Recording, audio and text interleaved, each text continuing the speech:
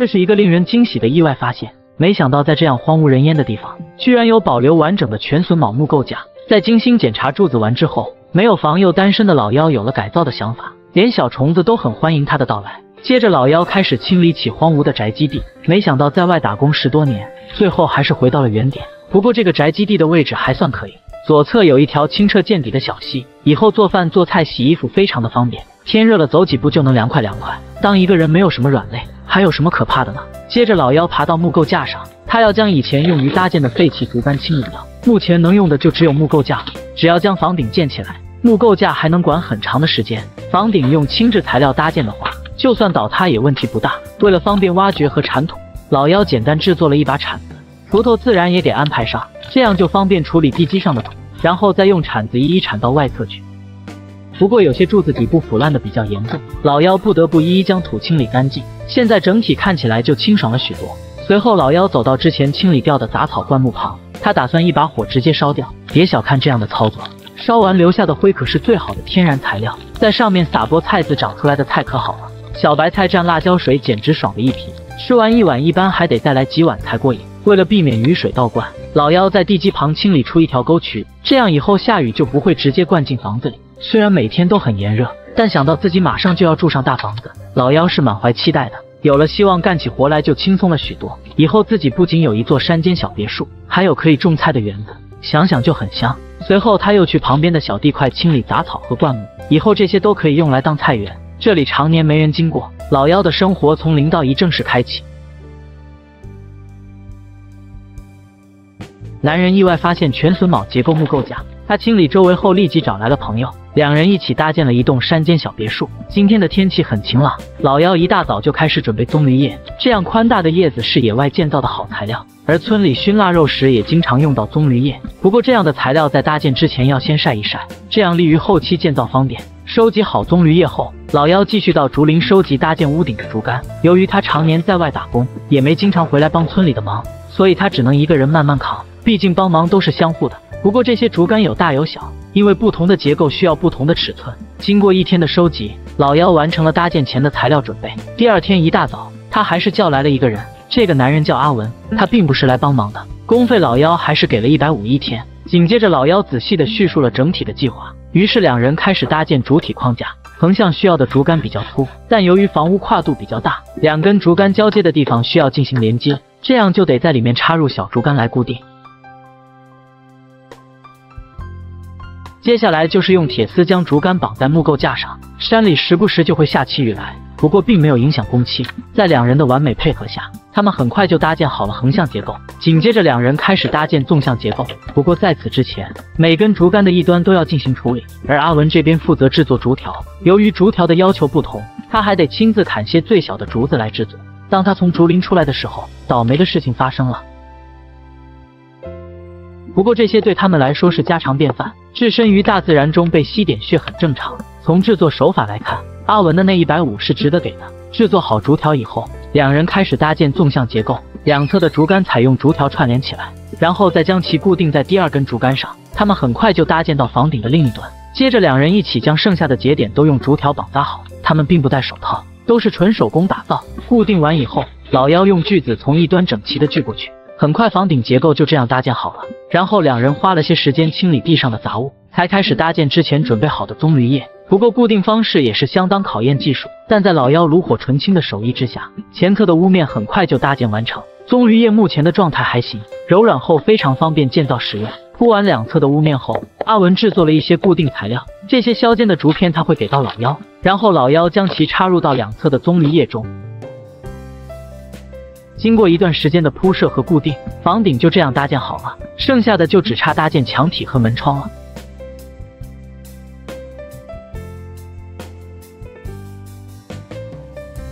别人还在朝九晚五的时候，这个男人和朋友搭建了一栋山间别墅，靠着双手过上了自给自足的田园生活。他就是老妖，一个打工十多年后回到大山生活的男人。老妖和阿文一起搭建好屋顶以后，两人便开始准备建造墙体的竹竿。阿文负责将比较粗的竹竿一分为二，老妖则准备起适合墙体高度的竹竿。经过两人完美的配合，他们开始搭建墙体。考虑到要长期居住在这里，所以固定方式采用铁钉固定。当另一端也固定好以后，老妖和阿文开始放入竹竿。这样做不会破坏到木结构。如果直接在木结构上开槽，费时费力的同时，还加大了破坏结构的风险。为了让墙体更加稳固，老妖每隔一定的间距会用钢丝来固定。两人很快就搭建到另一端。由于这里一年四季会比较热，漏风的墙随时会送来一丝丝的清爽。当然了，墙体的固定还要继续。老妖直接用钢丝进行绑扎，然后在中间内侧也固定一根竹竿，外侧加上一块竹板来连接，稳固的墙体就这样搭建完工。不过两人并没有继续搭建墙体。而是一起将以前清理的杂草和灌木烧掉，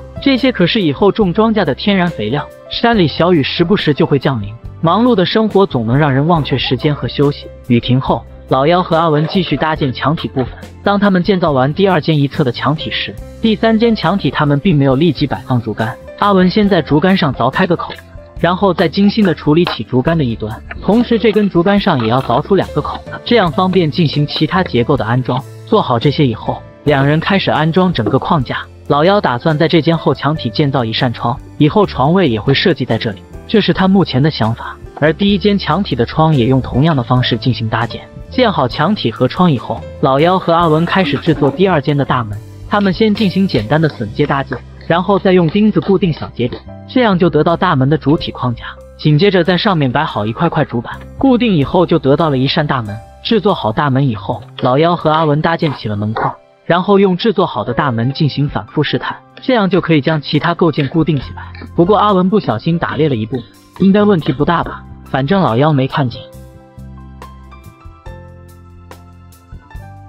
安上门的一瞬间，从这一刻开始，老妖的梦想不再遥不可及，也不用还什么房贷，田园生活也越来越近。于是他叫阿文简单搭建前后两侧的窗，左右的设计他自己上。这样的设计灵感来源于棕榈叶，内侧他也用竹板和钉子固定起来。这一刻，老妖的山间别墅总算搭建完工。不过他又有了在左侧搭建厨房的打算。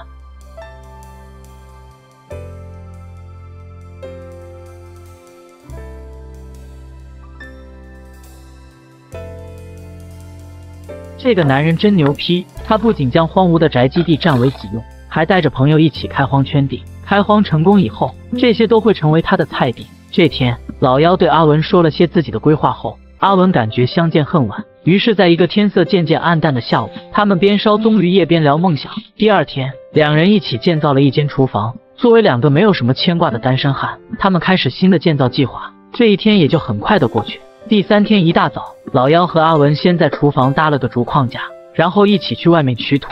你铲土来，我挖地，过着像似你侬我侬的生活。不过这是一段纯真的友谊。随后两人一起将土拍平整，有了可以生火的地方之后，老妖上山砍起了枯树。这里的枯树十分丰富，不一会儿的功夫他就收获了不少。不过树干都得处理成一根根短木头，由于只有随身携带的刀能用上，以至于老妖砍得大汗淋漓。阿文那边就比他爽的太多。阿文负责收集石头放在平整的土上，这些石头都是阿文在小溪边筛选出来的精品。随后阿文也走过来和老妖一起劈柴。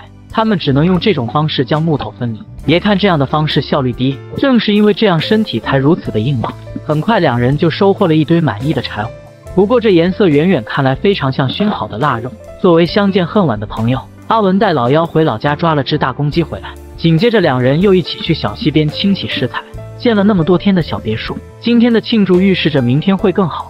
今天又是潮湿的一天，但这并不影响两人开荒的决心。这片区域以后都会成为老妖的菜地。清理好杂草以后，两人一起扛木头过来。他们计划在这里打造一方凉亭，可遮阳避雨、喝茶赏景。而凉亭需要先搭建出四根柱子。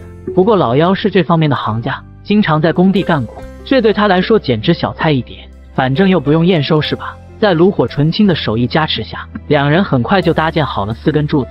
为了建出合适的平台。他俩用竹竿确定了大概位置，然后按照高度固定了四根木头作为承重柱。很快凉亭的底座就出来了。紧接着两人建造了六根柱子，两根柱子为一组，成为栈道的承重结构。为了有起伏变化，中间他们选择了抬高处理，建造后的效果也是相当可以。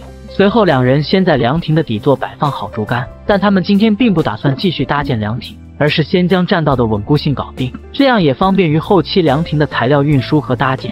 栈道建造好以后。现在才是老妖特别想做的事。先定一个小目标，围出一大块耕地。于是两人将竹竿统一制作成这种形状，然后沿着外围固定一块块竹板，竹围墙就这样一气呵成。加上老妖和阿文还用竹竿作为支撑，稳固性还是很 OK 的。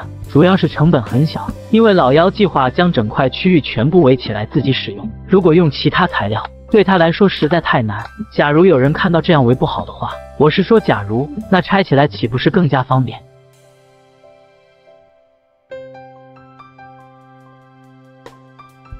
这才是野外开荒的天花板。男人不仅将雇佣关系变为兄弟关系，还请来了王阿姨的两位女儿一起来开地。从零到一的田园梦即将实现。自从老妖和阿文合伙圈地成功，他俩一大早就开启开荒模式。这是一个满怀热情、充满朝气的一天，暖暖的气氛使得他们心情十分快乐。于是老妖给阿文提了一个大胆的想法，随后他就一个人走出荒地的视野，而阿文一个人边除草边进行清理。但惊喜的事情总是让人猝不及防，伴随着一声声欢声笑语。没错，老妖还是那个老妖。老妖请来了王阿姨和她的两个女儿，毕竟男女搭配，干活不累。连阿文都突然精神百倍。微风中时常传来欢快的歌声，他们握着工具，齐心协力开垦荒地。他们的脸上洋溢着喜悦的笑容，相互调笑，说着甜言蜜语，就像一家人一样，温暖又真切。于是暖男老妖突然做了一个细致的动作。他先摆放了一瓶饮料和茶具，然后来到一棵满满的杨桃树下，紧接着他爬上树去，摘起一个个层层饱满的果实，望着满满的杨桃，他眼睛里充满了欣喜。摘好杨桃以后，老妖随手制作了一碗蘸料，看着大家开心的表情，应该很好吃。随后，老妖将切好的杨桃往嘴里这么一塞，果汁的香甜溢满了他的口腔，他满足的笑着，口水直流。于是大家也动起手来，炎热的阳光照在他们的脸上。耳熟能详的嗷嗷声不断传来，老妖用力咬一下，美妙的汁液就这样被他一口口享用。女人也一口口把杨桃吃下肚去，嘴里边散发着酸甜的滋味，脸上洋溢着快乐的笑容。享受完美味的杨桃以后，大家继续开荒，每人手握一把锄头，把地里的土壤铲开。这样一幅温馨而和谐的画面，仿佛代表着男人和女人共同扛起生计的重担。很快，他们就开完圈地范围的一半，接下来的旅途只有老妖和阿文一起干。不过搬石头也有一些乐趣。老妖发现了一窝老鼠，里面挤满了一群小老鼠，它们被小窝里的温暖吸引着，堆在一起，肢体交缠，尖叫着欢乐。不过老妖和阿文并没有伤害它们。盖上石头后，两人继续搬石头。在这个飞沙走石的田园里，两个男人一起搬石头，他们的谈话也越来越多。两人聊着各自的经历，开玩笑，互相鼓励，侃侃而谈，犹如亲兄弟一般，在这乐融融的田园里度过美好的一天。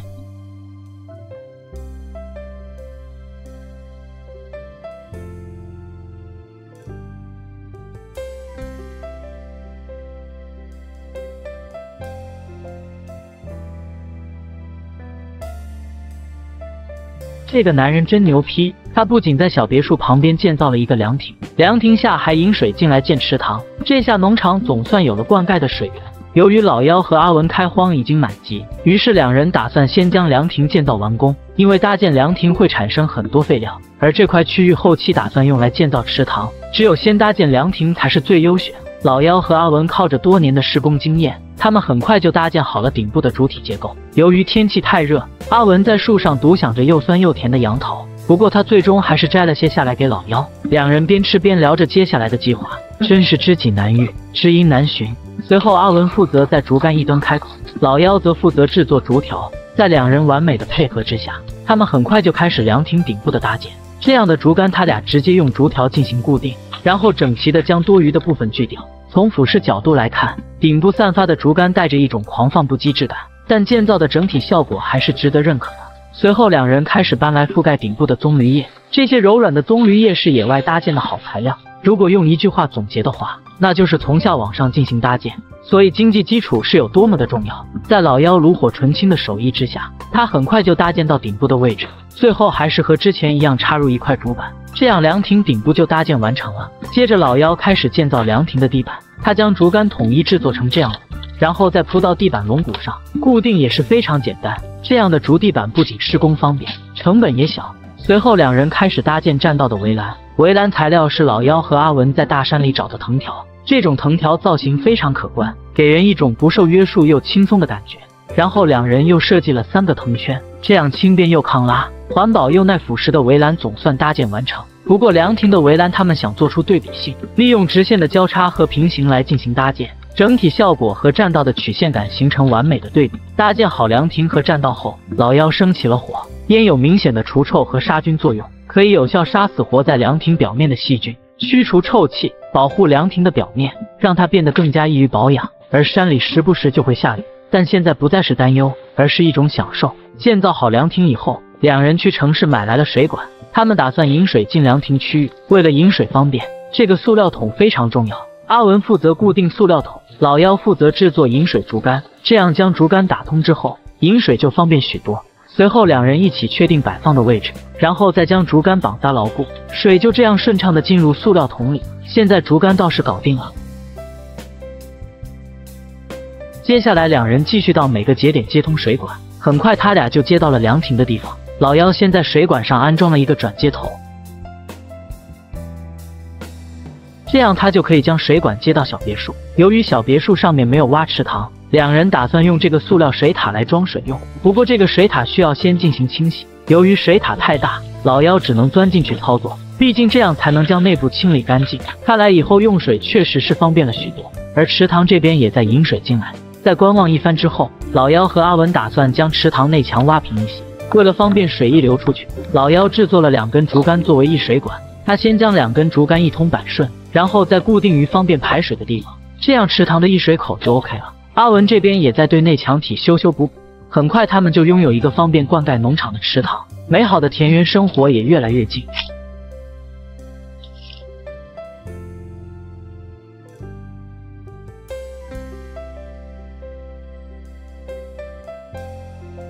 这才是生活该有的样子。老妖撒播的种子发芽了。自从有了充足的水源，老妖便开始种植计划。种完一小片区域以后，他拿出菜籽，然后就这么一撒播，蜘蛛网都感到满满的收获。老妖打算将这片全部撒上菜籽，因为这样坡度的地用起来不太方便。再过个三五天，菜籽差不多就发芽了。撒完菜籽，老妖开始翻地。第一次翻地看起来比较粗糙，在阳光的暴晒下。能起到杀菌杀虫卵的目的。另一侧当然也不能落下，毕竟接下来需要种植更多的蔬菜。过了几天之后，老妖开始二次翻地。虽然下着毛毛雨，但空气中弥漫着田园的静谧，心中的喜悦仿佛融化了一切苦涩。第二次翻地要求就比较高，需要将泥球一一敲碎，这样土就变得更细一点。翻地完成以后，老妖开始进行播种。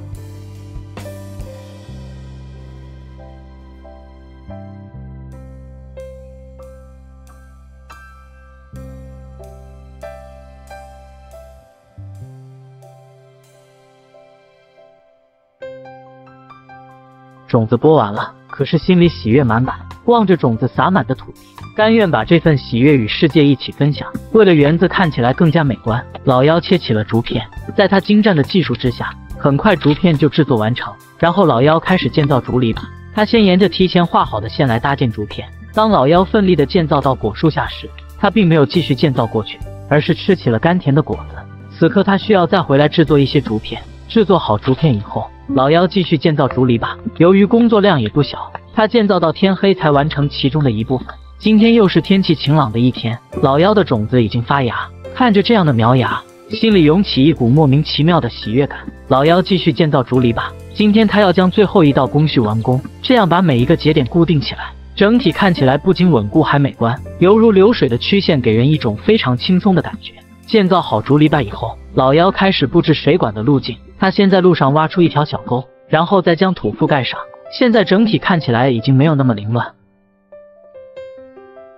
好家伙，这种软软黏黏的东西是什么？这里居然有这么多蚂蟥，而这个男人竟然没有一丝丝恐怖害怕，他只是想找一些植物去装饰自己的园子。昨天老妖将竹篱笆搞定以后，一大早起来的他便开始画圈圈，然后又继续按照范围线挖出一条沟。他打算在这里砌一个圆形花池。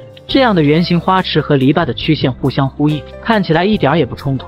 至于花池的种植方式，老妖先种了一圈的恶菊花，中间的位置他则预留出来，因为恶菊花整体看起来比较细腻，全部种恶菊花就显得过于单调。于是老妖在中间种上一株凤仙花来作为点缀，这样不管花色还是叶子都有了一定的对比，整体看起来就不那么单调，而园子也越来越有味道。至于剩余的恶菊花，老妖打算种在坝子的边边。加上篱笆的感觉简直不要太好看。安静的生活就像一个温暖的港湾，这里没有喧嚣，没有哗众取宠，只有美丽的田园，让人享受着平静安详。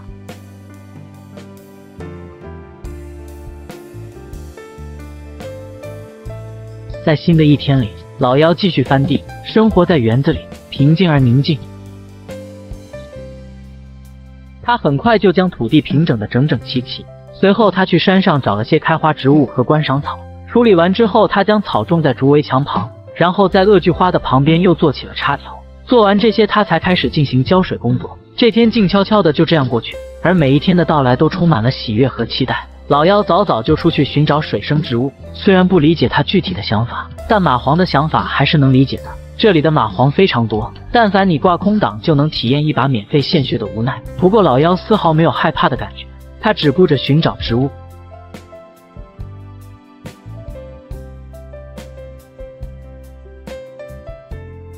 虽然一直不停的刨新泥，但仍然没有发现什么动物的踪迹。看来下次他得找个新地方刨才行。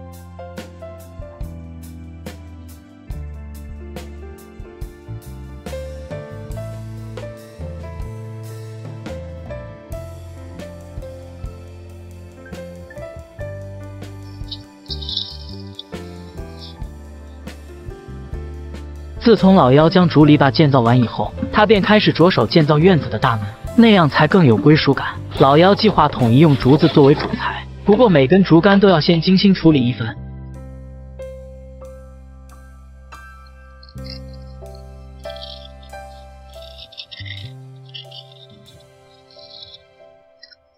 开好孔以后，他简单的搭了个大门框架，有了门框作为参照。他很快就定出柱子的具体点位，随后他粗略的固定好框架。经过多次的观望和调整，老妖才开始回填土来固定住脚。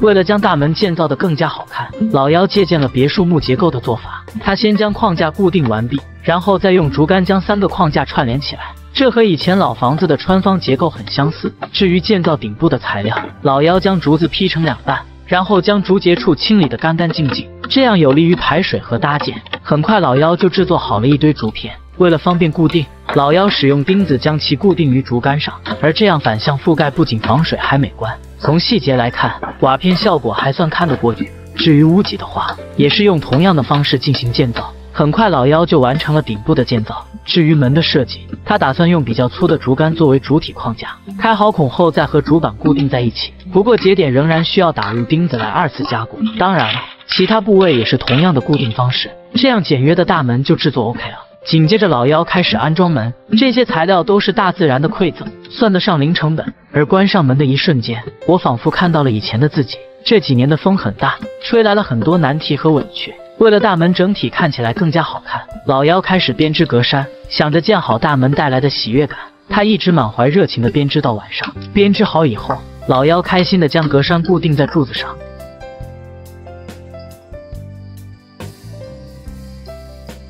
第二天一大早，老妖先搭了一个简单的架子，由于整体看起来十分单调，于是他即兴编织起了格栅。美丽的方形带来了很别致的视觉感，不过编织后的效果还挺意外。看着这形式，都怕当场折断。而当老妖将格栅固定在架子后，这大门通道开始有了仪式感。不过更有趣的还在后头。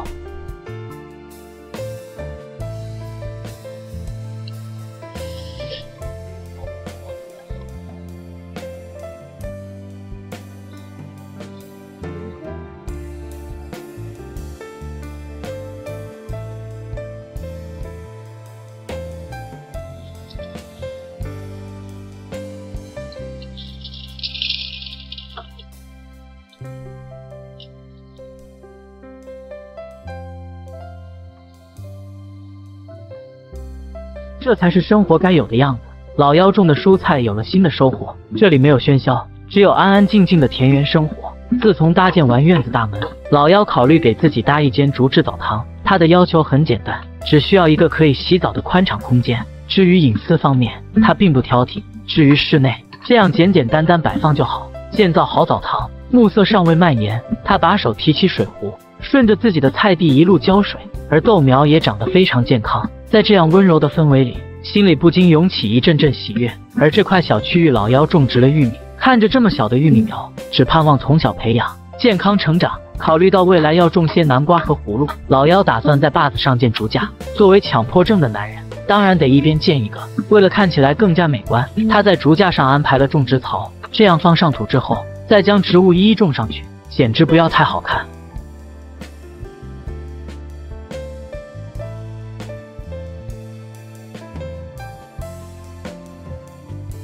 不过老妖并不满足那么少的植物，于是他来到小溪边寻找花花草草。这里有丰富的花草资源，老妖很快就收集到了一堆。这样满心的欢喜，他都想变成一条鱼在小溪里跳跃。很快，老妖就带着大自然的恩赐回到院子。他先根据不同植物的习性来进行种植，每一个设计都带上了感情。最后，他把每一个细心的挂到竹架上，用心创造着属于自己的美景。早上，清新的空气中带着一丝清香，鸟欢快地叫着。老妖也把手提壶缓缓浇水，之前的插条植物也顺利发了芽。单身生活给了他更多时间和自由，他可以做自己喜欢做的事情。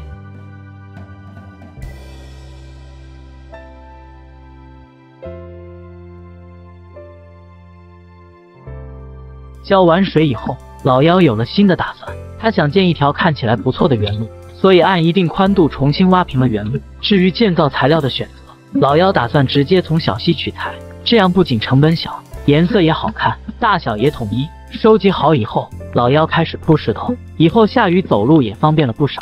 由于铺原路的工作量也不小，他一直铺到暮色蔓延都没铺好。第二天一大早，阳光洒在老妖耀眼夺目的植物上，不过他待的这边倒是十分凉爽。当他铺到凉亭的时候，原路总算建造的差不多。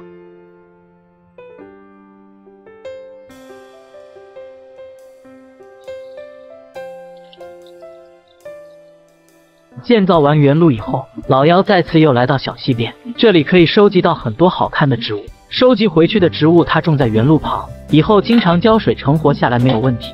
随着时间的推移，老妖会有一套自己的园艺技巧，花草树木，绿草如茵，让这里变得更加美好。一份平静，一份宁静，一份幸福，这样的田园生活很充实。这才是单身男人该有的生活状态。无聊了就在小院子浇浇水，顺便再制作一张抗震的床。这样的手工艺，连多多都投来了羡慕的眼光。转眼阿文离开这里已经很久，之前两人准备的柴火已经所剩无几，老妖只能一个人慢慢收集木头。虽然这边的蚂蟥非常之多，但对于宝刀未老的他毫无畏惧。很快，老妖就收集到了满意的两捆木头。记得以前大家还会选择挑一些地瓜藤蔓，在那个美丽的地方，勤劳的人们连地瓜藤蔓都舍不得浪费。大家会挑回家后晒干来当柴烧。不过老妖还找了些更大的木头，由于没有斧子，他只能这样一刀刀砍断。要是有阿文在的话，估计会轻松许多。这些木头按照尺寸处理好以后，老妖还得将木头一一分成几块。但凡有把斧子，也不至于干到木屑这样飞起来。不过成果还算接近完美。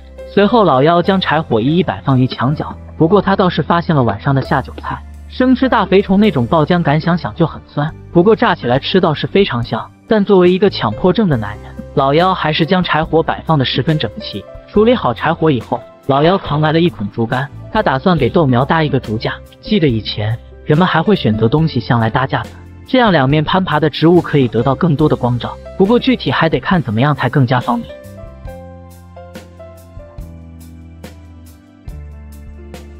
自从有了充足的水源，老妖非常舍得给院子里的植物浇水，毕竟这水是完全免费的。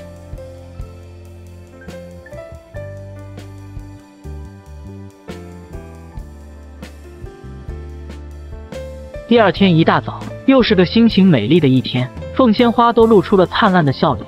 老妖今天有新的建造想法，他一大早就带着多多一起出门收集材料。这次他主要收集竹竿。经过一段时间的收集，老妖有了一堆满意的竹竿。接下来，他打算制作一张竹床，因为之前一直将棕榈叶铺在地上睡，现在已经睡得非常不耐烦。毕竟以后要是被哪个过路的看上，说不定还能脱单。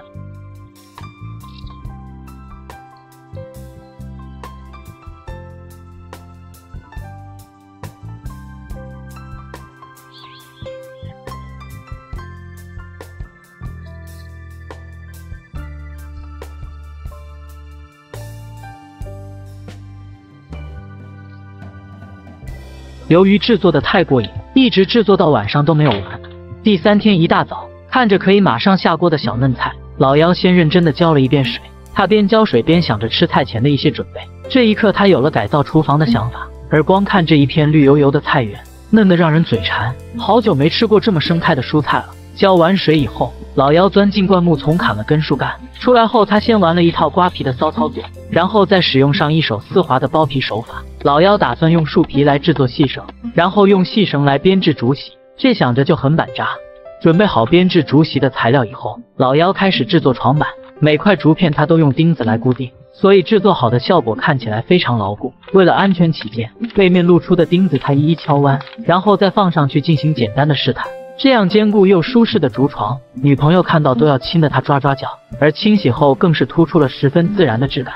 这还不算完，老妖又开始精心制作起竹条。看着这些制作过程留下的细细杂物，这竹条睡起来应该又软又凉爽。为了能快点过一把躺上去的干瘾。老妖用之前准备好的树皮制作起细绳，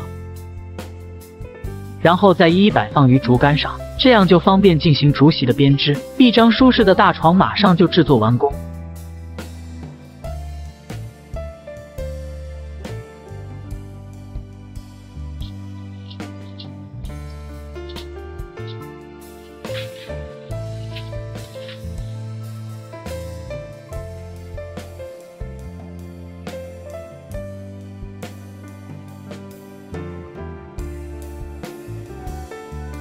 这是野外种菜的天花板。男子将长得密的菜秧进行移栽，然后再撒上天然肥料草木灰，这样天然种出来的蔬菜吃起来简直十分的哇塞。自从有了多多的加入，老妖又少了一份孤单，多了一份乐趣与陪伴。在和多多打了几下太极后，老妖升起了火。他并没有立即吃早餐，而是喝一碗温水暖暖胃。随后，他大概画出一个建造土灶台的范围。为了能快速建造好土灶台，老妖带着多多一起出来收集材料。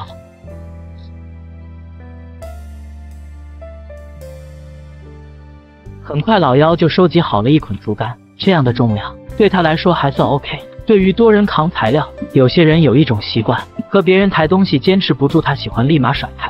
很快，老妖就将竹竿扛回坝子上。由于出去湿身了一番，他只能拿来老式拖鞋穿一穿，这样不仅凉爽，还对工作没有影响。老妖打算先制作建造土灶台的模板，在简单的固定之后，他才搬回室内进行大体的捆绑，然后再这样围成一个长方体。为了接下来建造更加稳固，他还是加了几根竹竿作为支撑。而后，老妖直接来到蚂蚁王国开始拆家。看着挖出这么深的坑，蚂蚁说：“我真的要谢谢。”运送好足够多的土以后，老妖开始分层夯实土壤，然后再用木棍进行拍打夯实。由于老妖经常喝稀饭，这样的体力活还是很容易让人变软。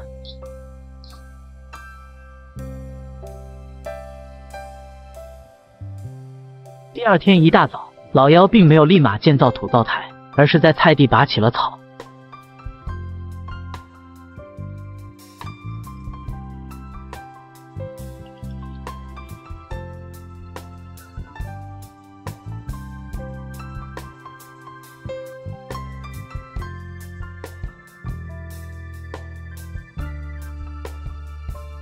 拔完草以后，老妖才开始拆模。现在表面看起来略显粗糙，于是他先规划出大体的范围，然后再用刀从表面慢慢刮平。这里没有多少的技术含量，不过需要靠一点点的想象。处理好表面以后，再用木棍进行拍打，这样就可以开始挖出灶堂。而老妖喜欢用刀来进行挖掘。挖好灶堂以后，他先在上面画了一个圈，然后再用铁锨往下挖掘。夯实过的土非常密实，挖起来完全不用担心会开裂。经过一段时间的精心塑形，老妖将灶堂里的土全部刨出来，紧接着他又在上面画起了线，然后再慢慢进行挖掘。他打算在这里建造排烟管。一大一小的竹竿被完美组合起来，用粘土覆盖完以后，整体效果看起来还算 OK。然后老妖用丝滑的手法轻轻抹了一遍，这样传统的土灶台总算建造完成。于是老妖带着多多来到室外，他打算移栽这里的菜秧。而旁边长得很密的番茄苗也是一样。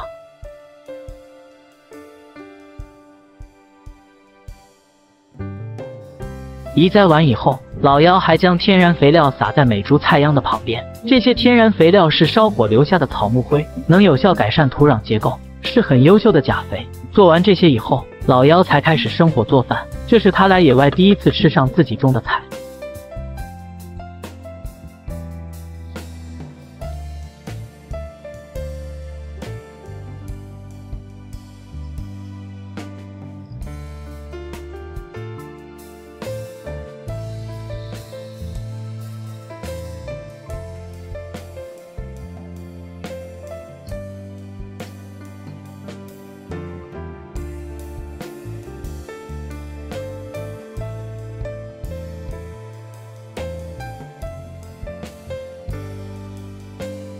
没想到这片区域也能刨到鱼，小的养肥了以后再刨。在老妖炉火纯青的一指禅作用下，他最终收获了一些天然食物。一大早，老妖就开始处理起竹竿，他打算制作一个简易置物架，每根竹竿都需要精心凿出一个个口子。准备好主体框架的竹竿以后，紧接着就是制作一块块丝滑的竹板。一个人的生活有时候会特别无聊，据研究，主人抚摸狗狗可以减少心脏方面的一些问题，也能减少抑郁症出现的概率。准备好材料以后，老妖开始安装架子。这样的架子十分简单，他三两下就安装完成。至于放置在上面的主板，老妖先是在野外收集了些藤蔓，然后再一一固定好每个节点。这个架子他打算用来放些花花草草，所以稳固性完全是 OK 的。随后，老妖开始准备制作竹椅的材料，他打算采用榫接的方式来进行制作。而主体框架完成后的效果看起来也还行，但一缕缕烟代表着制作并非那样简单。老妖打算每个节点用竹钉来固定。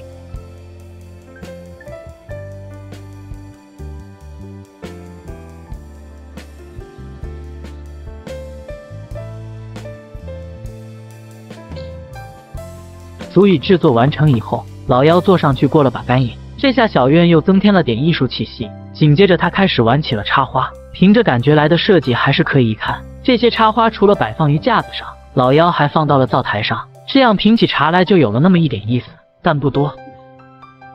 第三天一大早，老妖今天会比较忙，但忙碌的不仅仅他一个。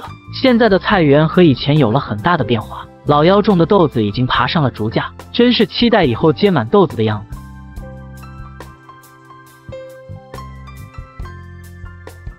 看完菜园以后，老妖感觉水管出了些问题，于是他带着多多一起检查水管。最终，他在搭接竹竿的地方找到了解决方案。不过，最惊喜的还在后面。老妖拿下了一株可以用来泡水喝的植物，不知道行不行，反正不值得模仿。拿回来以后，老妖洗干净放在了架子上。不过，他今天还有很激动的事情要干。看着这十分清澈见底的水，里面肯定有不可告人的秘密。于是，老妖先将水引到一边去，接下来就是慢慢刨干货了。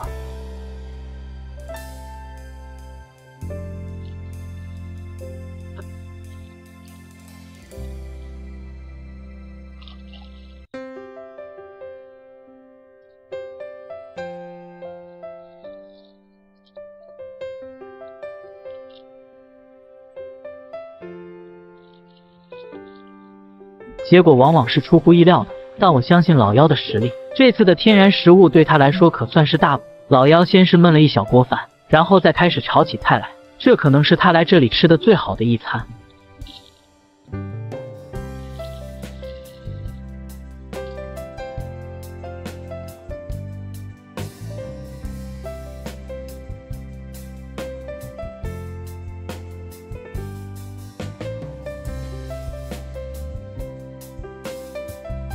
阿文曾经和老妖一起建造田园生活，中途回去干工地就成了工地小王子。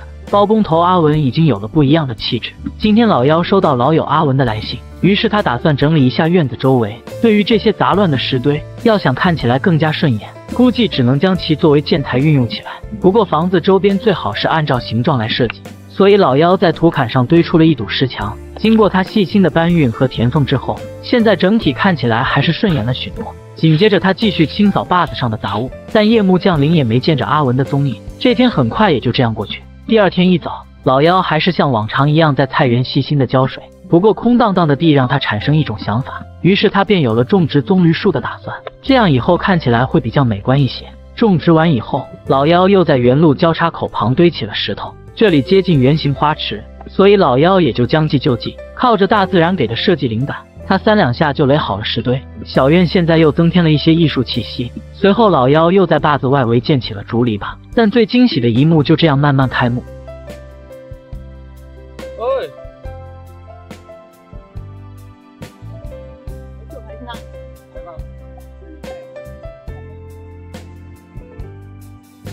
现在的阿文是一名包工头，虽然他没有和老妖一起种菜，但旁边的凉亭还是有着自己的一份劳力。岁月是把杀猪刀，带来了田园生活的同时，也带来了工地小王子。接着，阿文继续欣赏老妖的菜园，看着老妖种植的南瓜，阿文倍感惊喜，看似好像错过了什么，好像也得到了什么。以后总算可以随时过来尝尝这些生态的蔬菜。而阿文也随手带来了些食材，走进室内，看着这样简约的室内环境，阿文还有点想直接拎包入住，但过去的已经过去了。而后，两人在菜园采摘起了蔬菜，每块区域都洋溢着满满的新鲜活力，放到桌上定能变成一道道清鲜美味的佳肴。而后，两人开始制作美食，鱼交给了老妖，阿文这边则负责煮菜。这样看的话，似乎两个人的生活更加有乐趣一些。天涯路远，知音难觅，知己难寻，且行且珍惜。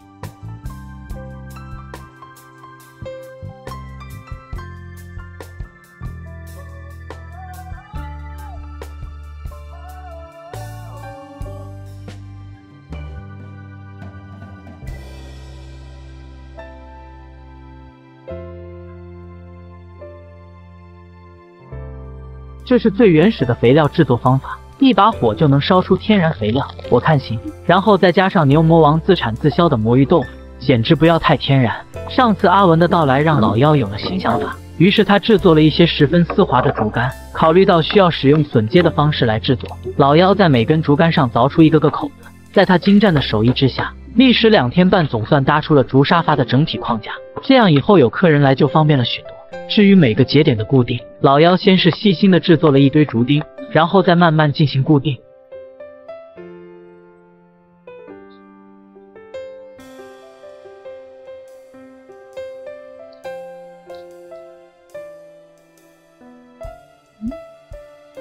今天又是天气晴朗的一天，番茄苗又长高了不少，不过菜地却长了许多的杂草。老妖没有使用除草剂的打算，这样的杂草只需要连根拔起。然后晒干了烧掉，还可以用来作为肥料。随后老妖又在旁边翻起了土，不过土壤肥力还有待提高，毕竟已经长过了一期的蔬菜。于是老妖来到旁边的空地收集起材料，收集好以后再一把火给它烧掉，这样天然肥料就算有了。不过老妖运气非常好，掐指一算，他今天走牛屎运，已经干了的牛粪可是上等的农家肥，这么零成本的肥料，现在走到路边都不好遇到。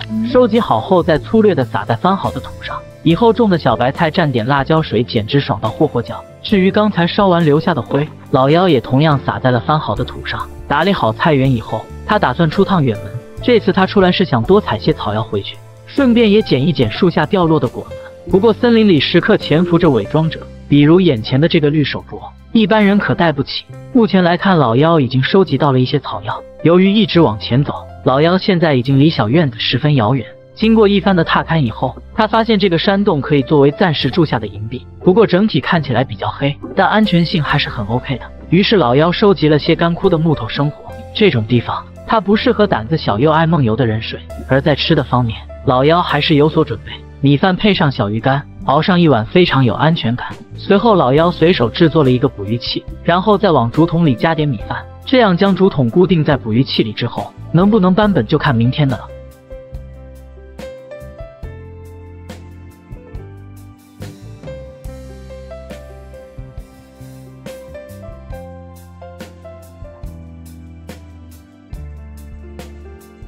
这捕鱼器真的能抓到鱼吗？只见老妖用米饭作为捕鱼饵料，然后再将捕鱼器放入水中。第二天一早，他好像梦到了何仙姑，这么好的梦，自然还得再回味一下。随后，老妖先洗了把脸，顺便再用溪水漱漱口。做完这些以后，老妖才开始收起捕鱼器来。不过他一条鱼也没抓到。妈，不好意思。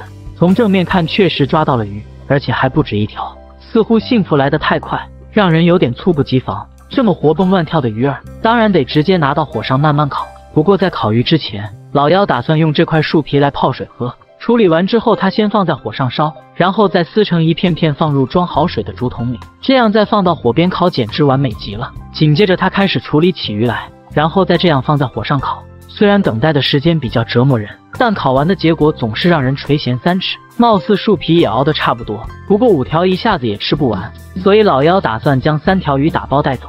生活嘛，总是需要一点点仪式感。毕竟一万多天的日子很快就要过去。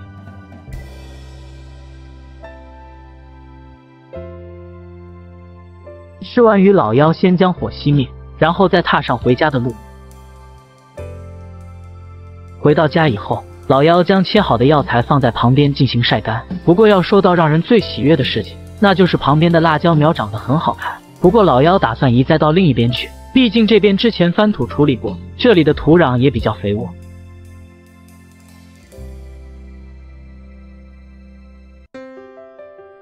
老妖同时还移栽了一些番茄苗过来。从另一个视角来看，背后的豆藤用不了多久就会结满豆子。移栽好番茄苗以后，老妖在旁边挖了一条条浅沟，他打算在这片区域种上甘蔗。不过种之前要先将甘蔗砍成几节，只要别砍到芽点就行。砍完之后，老妖开始摆放甘蔗，摆完以后再进行覆土。当然了，种植的方式有多种。有些是将甘蔗按一半进泥浆进行种植，上面再盖上一层薄膜。不管用什么方式，适合自己就好。最后，老妖打算再种一些种子就休息，因为下一期他打算养些鸡，而进城是唯一的选择。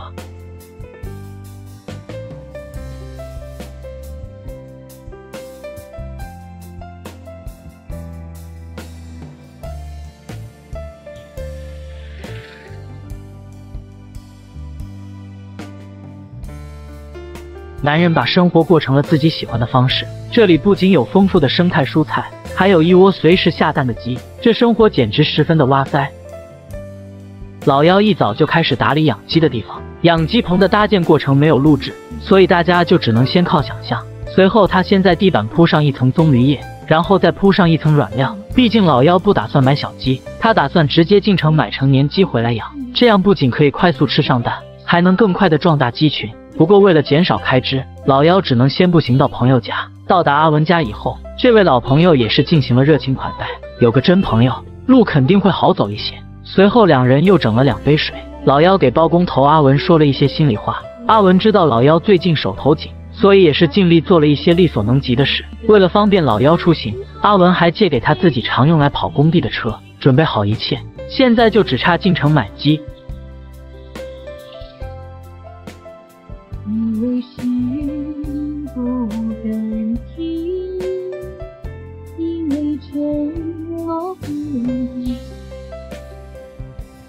经过一段时间的奔波，老妖总算找到了卖家。不过他们的谈话内容让小编很震惊，因为这种民族语言小编能听懂一些。难怪生活方式竟然如此的相似。不过除了买一些喝水壶和吃料桶外，他还顺带买了些鱼竿。老板也是非常热情的，一起进行捆绑。虽然路途遥远而天色已晚，老妖还是努力的赶回家中，因为这是他最温暖的避风港。睡谁家都没有自己家踏实。只要保证好自己的一日三餐和充足的睡眠。那些锦上添花的事可有可无，人嘛，有时候需要刻意遗忘掉一些痛苦。除了死亡，一切都是擦伤。给别人温柔的同时，也别对自己太狠了。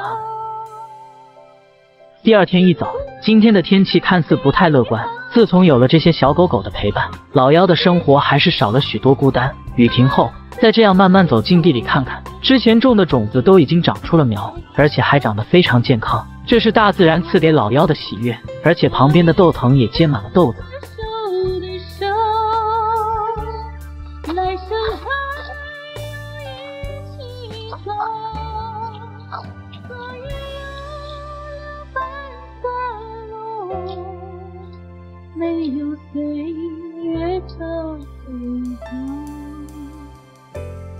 为了让瓜苗有个适合的生长环境，老妖打算搭个小棚子。下雨后，薄雾弥漫，露珠洁白似藏宝石，一花一木，婆娑如画。看到如此般美景，只能感叹感叹。雨下下又停停，但老妖还是继续搭建自己的小棚子，每一根竹竿都认真的固定。没有什么比看到这样的成果更让人舒心。而旁边的西红柿也开始结果，老妖也在这片区域搭起了架子，以后果实累累的样子就是最好的景色。固定方式也是十分的简单，自给自足的生活挺好的。少了一些喧嚣，多了一份安静。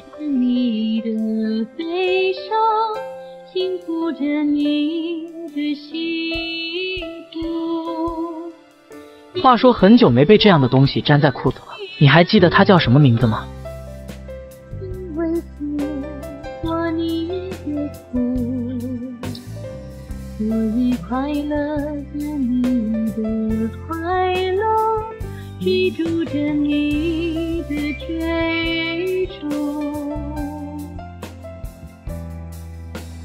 这是一种让鱼儿爽到哑灭蝶的做法，将其敲碎后放进水里，就能捡到小溪里的鱼儿。今天老妖又在旁边开启开荒模式，不过他发现了一种解渴的果，吃完一个他还想多吃几个。这应该是传说中的羊咪咪，一种可以通过五句传导让大部分人躺下清口水，一般只有大佬敢多吃一些。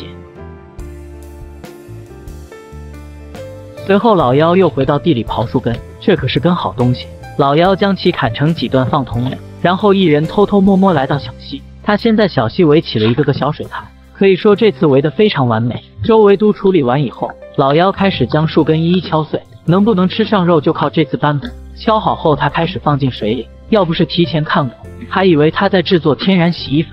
经过不停的敲打和清洗，鱼儿好像有了一些反应。老妖提着桶慢慢捡干货，看着鱼儿昏睡的样子，这量还是很足的，而且有些还是牢底坐穿鱼。这些都是坐牢的技巧，谁学谁倒血霉。经过一段时间的努力，老妖收获满满，连狗都感受到了今天会有大餐。为了吃起来更加爽口。老妖也摘了些南瓜藤的嫩尖尖，这种可以炒来吃，也可以直接一瓢油加清水煮。不过老妖还是选择了第二种，所以他又过来摘了些豆子。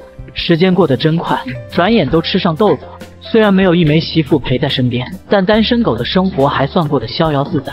鱼炒的比较随意一些，至于南瓜煎的话，也是做的非常简单，外加一盘炒豆子，这样健康的生活状态。让人看起来多多少少会有一点无奈，不过狗子们就只能吃吃清水拌饭。不过让人疑惑的就属养鸡的方式，老妖平时养鸡都是砍的香蕉树，扛回来后先将其切成一块块，然后再慢慢剁碎一点。这东西鸡特别喜欢吃，不过这样养的鸡不是谁都能吃得起的。走着走着，有些东西正在变得遥不可及。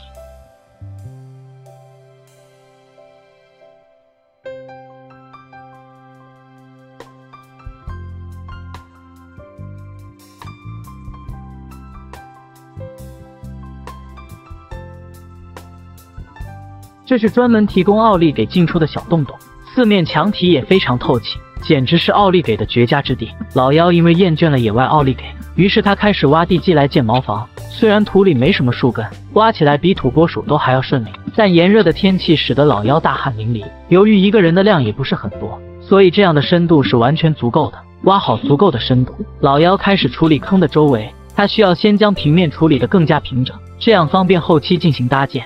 随后，老妖开始在上面搭竹竿。虽然安全性看起来比较一般，但老妖很信任这样的承重性。想想好像摔下去也问题不大。不过竹竿的摆放也很讲究，中间必须留出一个小口。摆放好以后，老妖才开始慢慢铺上一层土，然后再这样用竹竿慢慢拍平。看着这样的弹性，但凡掉下去，土都会帮忙把奥利给先掩埋，粘上翔应该不太可能。紧接着，老妖开始建造茅房的柱子。挖好基坑后，他便开始埋竹竿。由于很简单，他三两下就固定好了竹竿。为了固定更加方便，当然也得制作一些竹条。制作完以后，屋顶结构的搭建便有了开端。而这样的固定方式简直十分 OK，学会了自己也能回家搭建，在里面窝粑粑当然也很 OK。搭建完主体框架，老妖在上面摆上一根根竹竿，然后再用竹条进行一一固定，这样屋顶的龙骨也布置好了。至于覆盖材料的话，还是使用同样的老方法，直接将棕榈叶从下往上进行铺设。由于铺的太过瘾，老妖一直铺到了天黑。第二天一早，今天的天气很晴朗，但老妖没有直接搭建茅房，而是先喂起了鸡。毕竟买鸡的钱还是跟阿文借的，要好好养鸡来还债才行。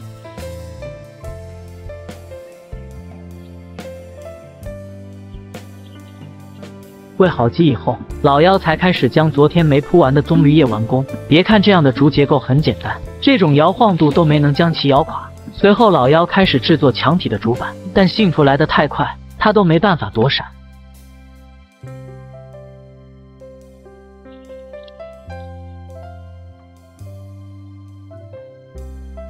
不过茅房也得建造一扇门，要不然回手掏小狗有点麻烦。编织好竹板以后，老妖先进行简单的安装。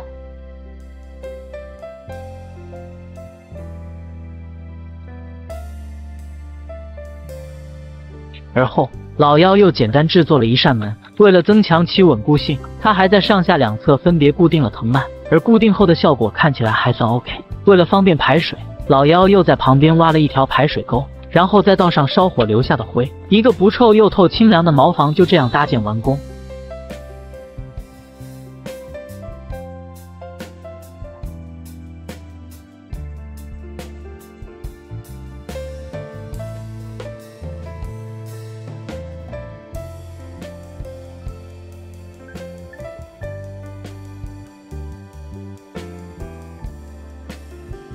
男子野外发现全榫卯结构木房，人生匆匆几十年如白驹过隙，转眼他已过上令人羡慕的田园生活。这里不仅鸟语花香，蝴蝶翩翩起舞，还有小狗狗们的长期陪伴。新的一天从农场慢慢打开，但峰峰似乎比老妖都还要勤快。虽然老妖今天起得比较晚，但他一刻也没有让自己闲下来。老妖打算在这边种上一些玉米，因为养鸡总不能一直砍香蕉树来喂养。翻土完成以后，老妖开始种植玉米。由于场地比较小，加上自己时间比较充裕，所以老妖不用锄头挖洞来种，而是用手慢慢抚摸着土壤。忙起来能治疗一些不好的情绪。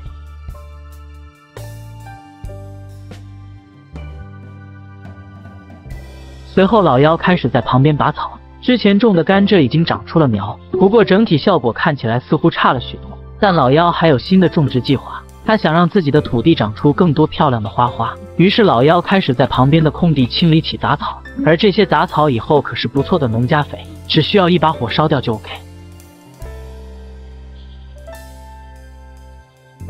清理完以后，老妖开始翻地，一天的时间就这样很快要过去。不过首次翻地看起来会比较粗糙，所以老妖只能用竹竿慢慢敲。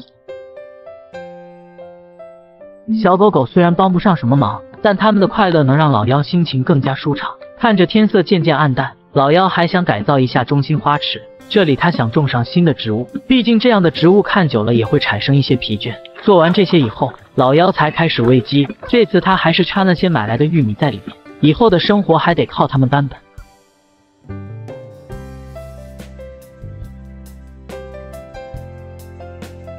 今天的天气还是一如既往的晴朗。老妖一早就开始制作起竹板，紧接着他在圆形花池上建造起竹篱笆，完成后的效果也还算好看。昨天开荒的地块，他也围了一圈竹板，以后这片土地会开出十分漂亮的花，这样就可以引来蜜蜂和蝴蝶。自从外出打工，再也没有看到过翩翩起舞的蝴蝶，那里只有一个小时十八块的青春，永远都有十八的人，没有的是一直固定在十八的青春。建造好竹篱笆，老妖开始准备种植的种子。混合好后，再缓缓撒到翻好的地里。而对于面积比较大的这块地，他先浇了一遍水，然后再将准备好的种子撒到地里。虽然狗很好奇这样的操作，帮不上忙的他们只能躺到一边玩耍。当然了，圆形花池这边也没有落下，现在十分盼望着开花的那一天。蝴蝶飞来的时候，应该很美很美。今天老妖打算采收一些蔬菜种子。收集之后会将其放在太阳下晒干，但万万没想到的事情即将要发生。看着这样长得茂盛的一捧草，果然里面藏着一根大辣条。老妖随即用木棒准备展开行动。这辣条有谁认识吗？看老妖这敏锐力，应该不会吃席。不过辣条似乎不打算和老妖纠缠下去，奈何老妖想利用自己的方法将其赶走，所以在趁辣条注意力不集中的时候，他果断出手，辣条就这样被他轻松拿捏并带走。不过老妖可能刚才还是有点害怕。所以他先去上了个小号，不过辣条他暂时放在了把子上。狗子们不太理解老妖的做法，不过老妖上完小号又立马回来拿捏住辣条哥，保护野生动物人人有责。随后老妖拿着辣条往院子外走去，只希望辣条以后不要再来打扰他的生活。找好地方以后，老妖将其放归于大自然。遇到这种情况虽然非常害怕，不过只能选择坚持克服困难。辣条出现在那里。大概率是因为那边的老鼠很丰富。以前开荒时，他和阿文就遇到了一窝。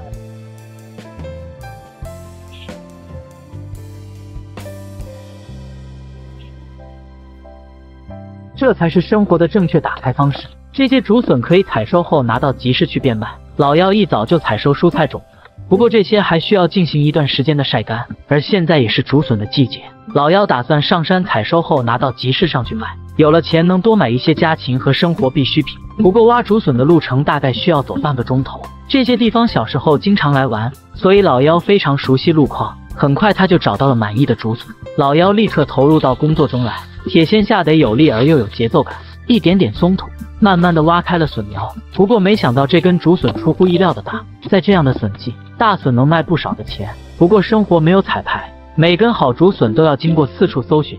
而且也并不是只有他一个人来过此地。遇到合适的竹笋，老妖会挖得十分小心。目前他也就挖到了两根，不过这片竹林找起来还算方便。由于经常挖竹笋，这样隐藏太深也能被他轻松发现。看着这一道道舒心的颜色，这何尝不是竹笋吐露出来的最大惊喜？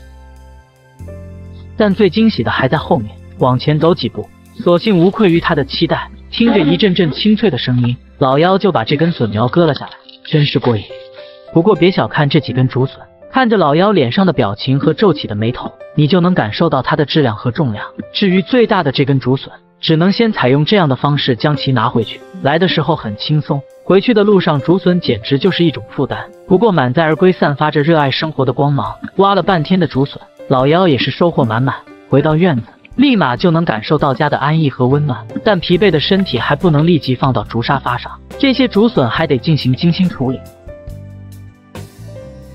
老妖找来了一块塑料布放在地上，然后才开始处理起竹笋来。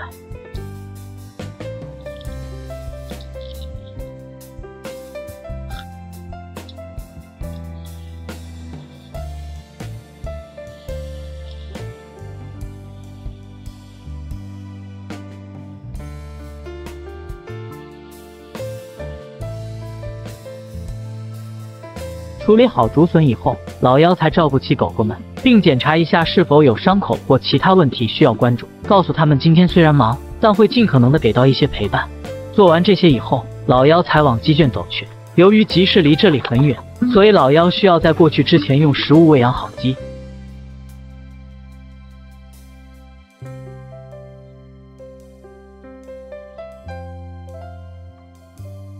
而平时除了喂养食物以外，给鸡提供一个良好的喝水环境也必不可少，而且每天和这些可爱的生物进行互动，也能带来一定的快乐和满足感，因为它们十分的简单。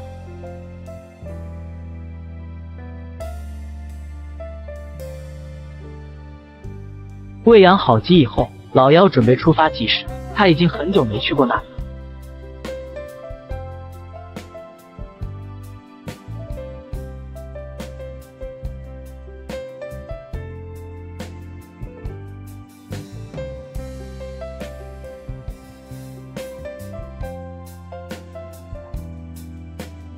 这是野外很会挣钱的男人，一大早就来到山上挖竹笋，而能不能搬本就看今天的地摊经济。生活不易，老妖卖笋，现在只要有人驻足观看，都会让他感到高兴。很快有位大哥就迫不及待上来询价，讨价还价，吃亏最大，所以大哥也是毫不犹豫地掏起了腰包，而老妖就这样成功拿下了一单。随着一阵阵人声沸腾，老妖的生意发展的十分顺利，自己挖的竹笋能受到如此多的欢迎，对他来说不仅非常有价值。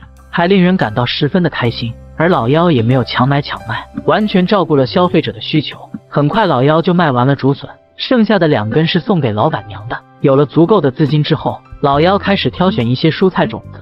集市上人来人往，热闹非凡，各种服装琳琅满目，令人眼花缭乱。经过认真的筛选，老妖打算也给自己整两条短裤。我看目前老妖最缺的是一枚媳妇，这样或许生活会更有趣一些。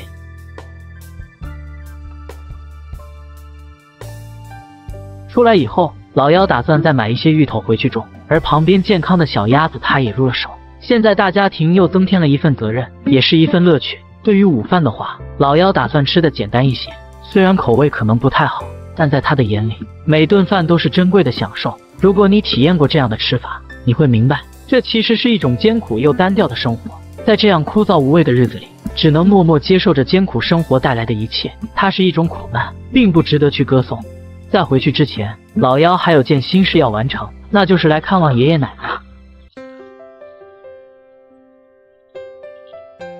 他们一边看着远处的山峦，一边轻轻的说着话，大家都静静的享受着这难得的时光。这样平淡而温馨的氛围，让人感受到了一些生命中珍贵的东西。亲情带给了我们无尽的快乐和温暖。不过老妖又有了新的打算，他在爷爷家后院砍起了木薯，砍好以后。他才带着小鸭子们一起出发，这才是梦的地方。回来能解开一直悬着的紧绷的弦。在漫长的旅途中，他的身体和心灵经历了许多的疲惫和不安。但是现在看着如此温暖的场景，踏进自己熟悉的大门，闻着那熟悉的院子气味，这一刻是温暖而又欣慰的。而回来的第一件事当然是危机。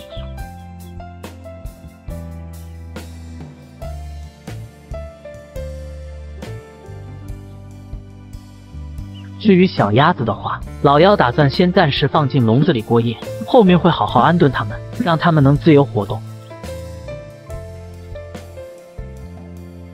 就这样，一个普通而又平凡的日子即将结束。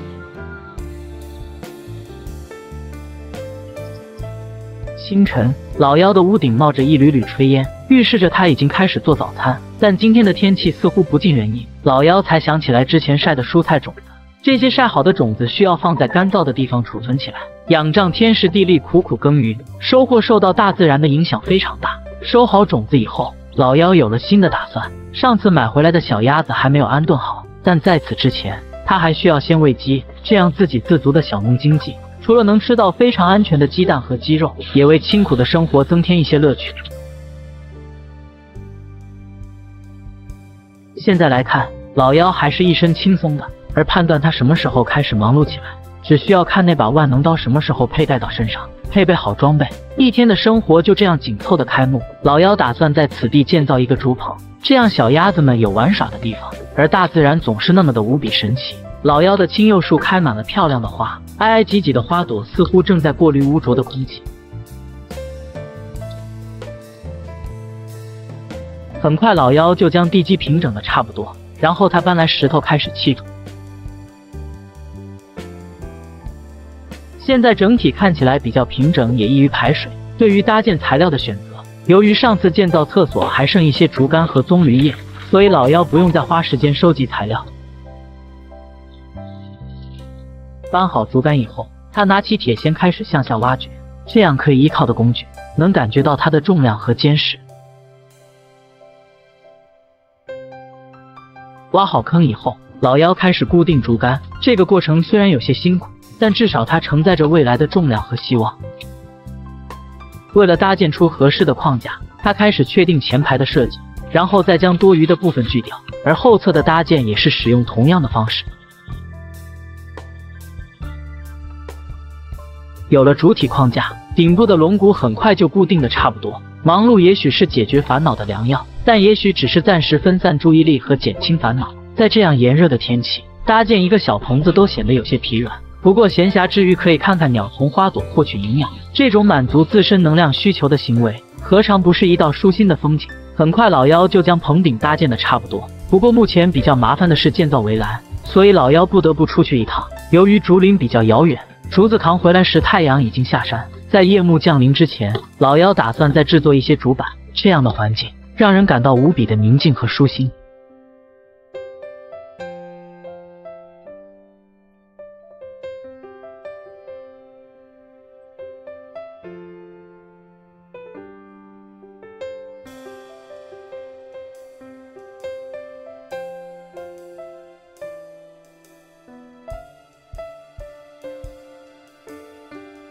这是我见过最会享受生活的男人，一大早起来就开始撸狗，不到手软绝不会去干活。随后老妖开始忙碌起来，毕竟昨天建了一天的鸭棚都没有完工，而建造的第一步当然得先制作主板。不过地上的蚂蚁真是令人密集恐惧症泛滥，老妖三两下就制作好了一堆主板，然后他开始沿着外围搭建。由于没有好的敲打物，老妖只能先将就使用石头来固定，这样一直围到凉亭。主要是为了防止鸭子进入菜园。固定好竹板以后，再这样围成整整一圈，鸭棚建造目前就算告一段落了。紧接着，他开始在下面铲土。老妖打算改造池塘，这样挖一层泥土出来以后，池塘的水位能更高一点，以后还可以放养一些小鱼在里面。老妖盯着铲子，不停地挖着土。想起以前阿文在的时候，两人挖起来特别给力，也不知道阿文还会不会来此地重游。时间一分一秒的过去。老妖的汗水已经湿透了他的衣服，平整差不多以后，他开始往里面灌水。听着这样清脆的声音，老妖顺便洗把脸，清凉的水顺着脸颊滑落，洗去了一天的疲惫和污垢。而这么舒服的一刻，当然得打着光脚板来放鸭子。它们身上的黄绒毛柔软而温暖，让人忍不住想要抱在怀里。随后，老妖又开始平整池塘。由于这野外也没什么玻璃钉。完全可以十分大胆的踩在上面。小鸭子们也下来凑凑热闹。从这一刻起，鸭子们总算有了免费游泳的好地方，它们可以尽情的玩耍。鸭子赶紧长大，老妖再这样单身下去也不是办法。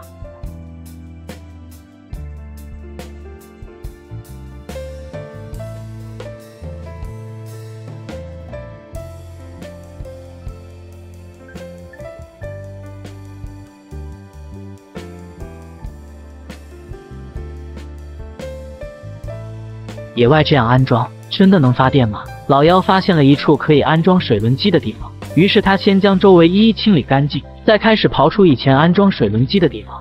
随着时间的流逝，土壤和石头已经将其掩埋。不过老妖已经找到了之前的水流入口，看来修复一下应该还能使用。于是他按照路径开始铲土，能不能发电就靠这次版本了。不过难点不仅在于引水进来。老妖挖好沟渠以后，他开始通过搬运石头来改变水流方向。而在水里抬石头还算轻松，抬出来就能深切地感受到了重量。很快他就将水引了过来。目前来看，这样流入的水量太小，但这还不是重点。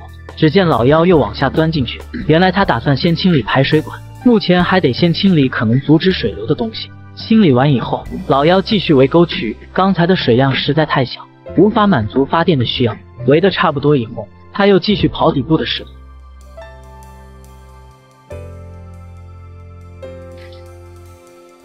可能刨的实在不过瘾，老妖直接玩起了一套房。现在的漩涡看起来已经很给力。做完这些以后，接下来就是安装老式水轮机。老妖已经准备好了老一代的传输线，由于线的长度不够，他只能先将短线一一连接起来。得到合适的长度以后，接下来就是将其系在树上。不过三分天注定，七分靠打拼，现在只能靠一招猴子爬树打拼了。所幸老妖体力充沛，他很快就固定好了线，而下去可比上来要快很多。特别是脚不小心打滑的时候。现在线已经牵到了安装水轮机的位置。为了能快速体验到野外发电的喜悦感，他很快也将线牵到家里。目前总算可以开始安装照明系统。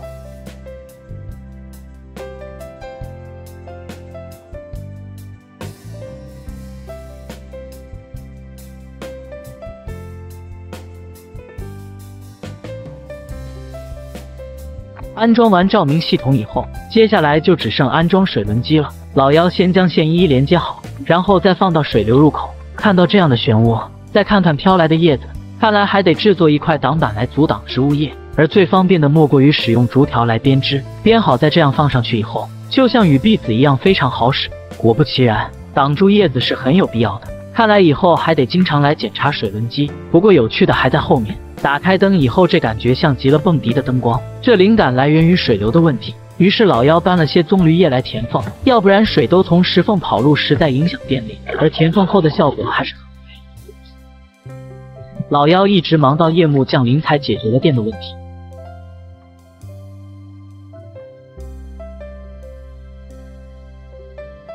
在野外如何发家致富？老妖一早就开始修剪番茄。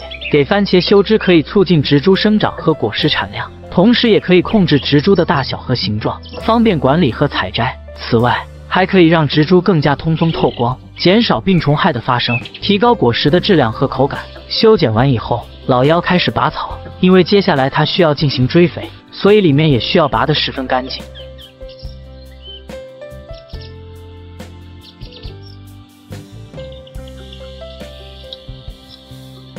拔完草以后，再用锄头精心的处理一遍，现在看起来干净又通透。而这些杂物需要统一堆放到一边，以后还可以烧来作为农家肥。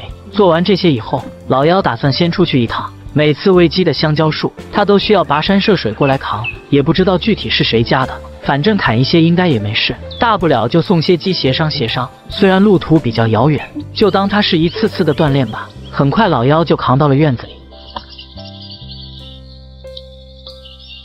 目前喂养鸡鸭的食物已经准备得很充裕，不过老妖又再次往外面走去。几个小时过去以后，老妖总算是又再次回来。不过听着这样的脚步声，能感受到步伐十分沉重。远远看去，这样的香蕉看起来并没有熟。老妖说，朋友给他展示了用香蕉作为肥料的方法，不过朋友所展示的是熟香蕉，而目前他并没有那个条件。不过也想试试这样的可不可行。于是老妖将香蕉切成小块。香蕉中含有丰富的钾元素，在番茄生长的过程中，需要大量的钾元素来促进果实的生长和发育。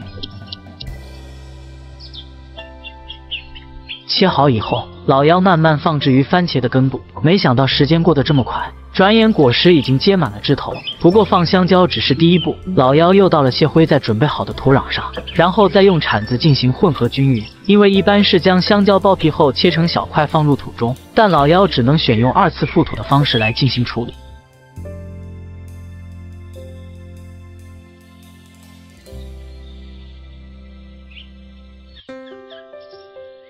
这才是生活的正确打开方式。老妖修剪完番茄以后，他又继续给黄瓜做修剪，随后又开始进行拔草处理。因为刚才切的香蕉还剩一部分，他也想给黄瓜统一安排上。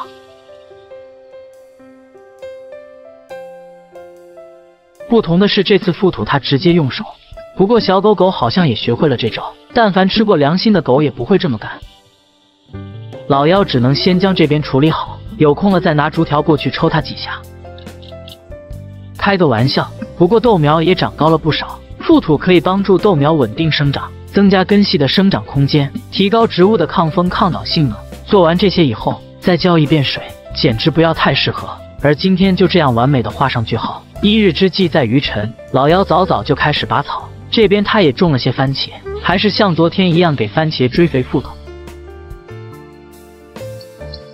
不过今天的主角还没登场，这个要问监理小胖子才能有所了解。老妖今天打算将之前种的花清除掉，因为他打算在这里种些洋芋。不过之前种花就引来了很多蝴蝶，所以除草也遇到了一些爬来爬去的小可爱。除完草以后，老妖开始整地。这次种植的方式他选择挑播。整地完后，再撒上一层灰和稻壳来垫底。灰和稻壳可以吸收土壤水分，保持土壤湿润，有利于洋芋的生长，同时也能提高土壤的通透性。做完这些以后，老妖开始将洋芋切成块。但凡旁边烧着火，这饱满度的洋芋烤起来肯定很不错。吃过烤洋芋蘸辣椒面的都知道，这样的手法非常娴熟。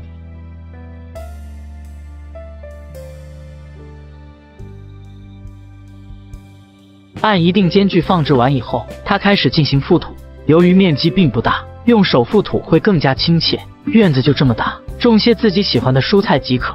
覆土完以后，再进行人工降雨。一个人的生活还是可以和大自然和谐相处的。做完这些以后，老妖开始拖家带口往外面走去。他抱着小狗狗们来到小溪边。这么热的天，他打算给狗狗们来套清凉的服务，但服务貌似不是那么的顺利，因为溪水真的太清凉了，冻成狗真的不开玩笑。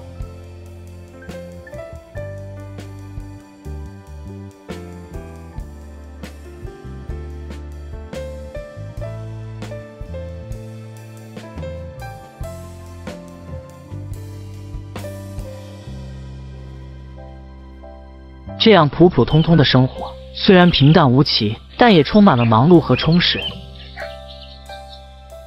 老妖一早并没有先喂鸡，而是将菜秸秆放在布上慢慢揉搓，这样菜籽就会破壳弹出来。不过这种传统的收集方式已经不常见，大部分人会选择直接购买种子来种植。接下来就是将菜籽和豆荚分开，这样就得到了一小堆的菜籽。而老妖打算先将菜籽储存在干燥的竹筒里，不过这些竹筒他会暂时放到土灶台旁，这样能避免菜籽因水分含量高而发霉。室内小胖子们正静静地躺在凉爽的地板上，他们慢慢陷入了甜美的梦乡。做完这些以后，老妖才往鸡舍走去。照顾鸡是他的日常工作，每天的上午和下午都会定期完成。养鸡的生活充满了辛苦和繁琐。但老妖也能够从中获得满足感和成就感，因为除了能够享受与他们亲密接触的乐趣外，还可以看到自己的努力转化为鸡蛋的产量和质量。喂养好鸡以后，老妖开始处理之前带回来的木薯。种植木薯是为了以后方便养殖家畜，不过种植的方式还算简单。到种植点后，先挖出一个个浅坑，看着这样的土质，应该还行吧。加上坡度也比较大，行不行还得几个月以后才能见分晓。有种过木薯的可以深入讨论一下。挖完坑以后，老妖开始种植木薯。种植方式简单粗暴又明了，能用脚的一般不会用到锄头。而旁边的小胖子也在忙碌的刨坑。随后他静静的坐在那里，眼神深邃的他仿佛在寻找生命的意义。而此刻老妖也将木薯种植完毕，不过他并没有停下种植的脚步，而是继续在种植南瓜的区域进行除草。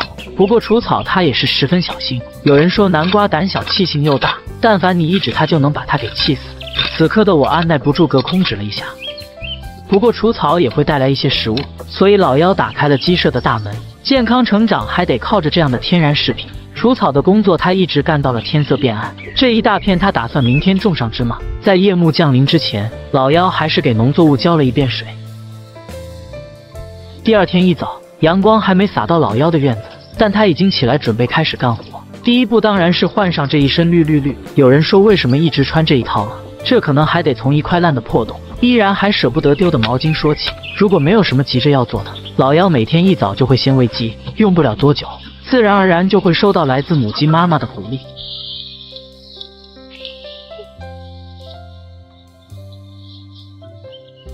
做完这些以后，温暖的阳光已经洒进老妖的院子里。不过回来后，老妖又立马走出去。昨天这片区域已经除草完毕，今天可以进行芝麻种的撒播工作。不过在撒播之前，老妖先将杂草统一堆放到一边，但是草它还是留了一些薄薄的铺在上面。老妖的想法是以后浇水能起到保湿的作用。做完这些，他才进行芝麻种的撒播工作。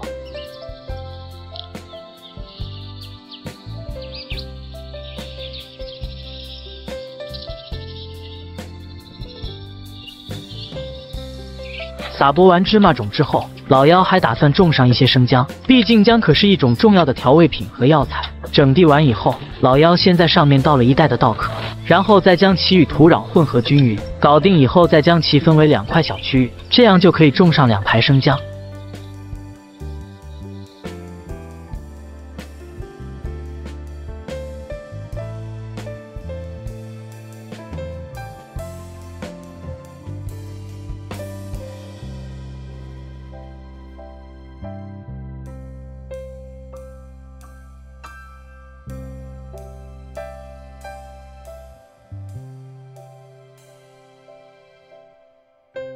这才是健康的生活状态。这里的每一种蔬菜都没有使用化肥农药，吃起来十分安全。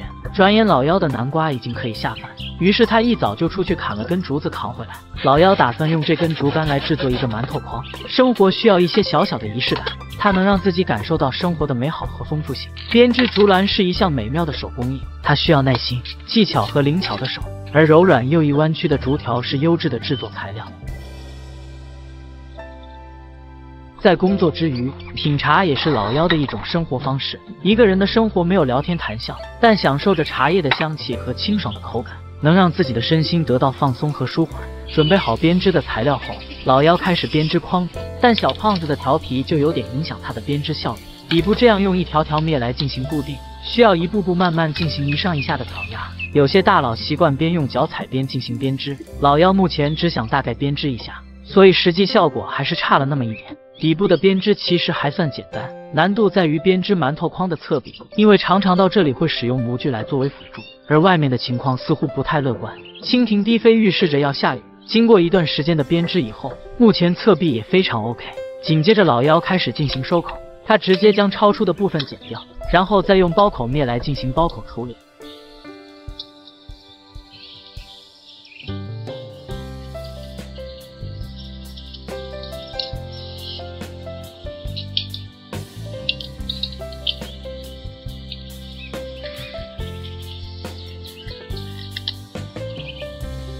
经过一段时间的折腾，馒头筐总算编织完毕。虽然略带一丝丝的粗糙，但至少它是免费的。而小雨也是如约而至，花朵的颜色也变得更加鲜艳。清新的空气激发着老妖干活的动力，于是他慢慢向着大门走去。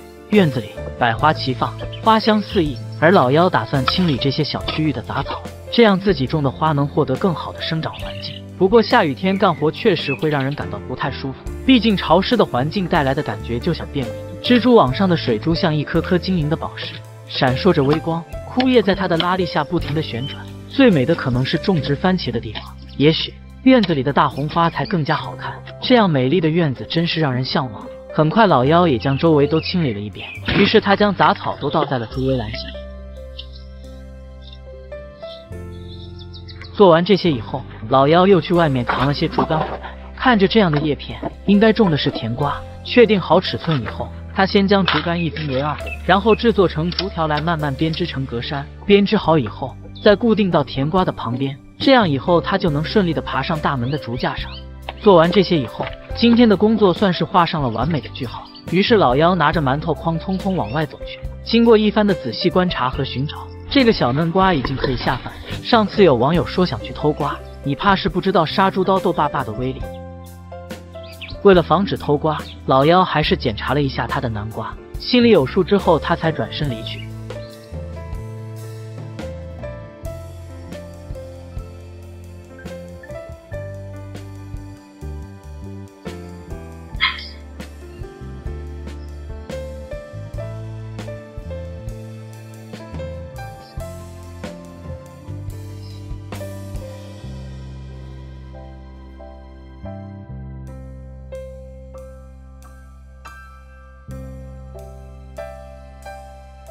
野外除了烧火带来的天然肥料，当然还有其他的肥料制作方法。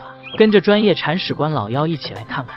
早晨，小狗狗们还在享受着温暖的气息，老妖则已经开始准备今天的工作。这些竹竿他打算用来编织成竹筐，先将竹竿按尺寸处理好，并将竹节的部位修理完毕。紧接着将竹竿一分为二，然后再这样将其分为尺寸相差不大的竹条。这种传统的手工艺，一看就会，一做就废。随后用杀猪刀慢慢破出竹面，大佬一般不用戴手套。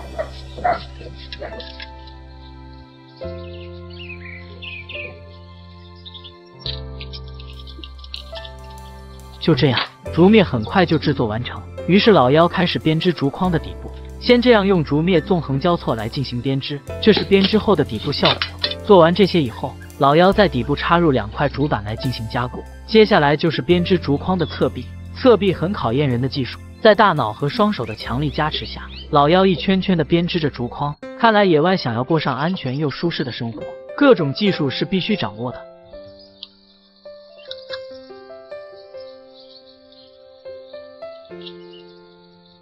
编织好以后，老妖准备好了一些藤条，然后再这样一一插在竹筐上。藤条看起来非常牢固，缠绕起来的作用也会更加 OK。编织好以后，完美的竹筐就这样制作而成。老妖也用同样的方式编织好了另一坨。接下来就是准备点燃的过程。看着这样的色彩，这竹子强度还是很 OK 的。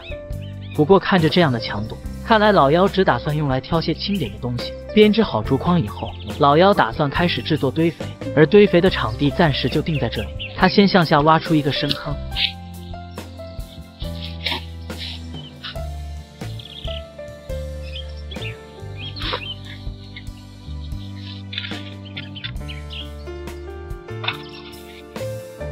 然后再放一些植物在坑里面。虽然挖得很过瘾，但夜幕降临的脚步也暂停了今天忙碌的工作。第二天一早。植物上的水珠透露着今天的天气，不过雨并不大。于是老妖带着美好的心情往外走去。一段时间过后，他来到了美丽的地方，这里有很多免费的翔。作为一个专业的铲屎官，这清新的气息真是令人难忘。幸好他们都已经变干。经过一段时间的奋斗，老妖总算满载而归。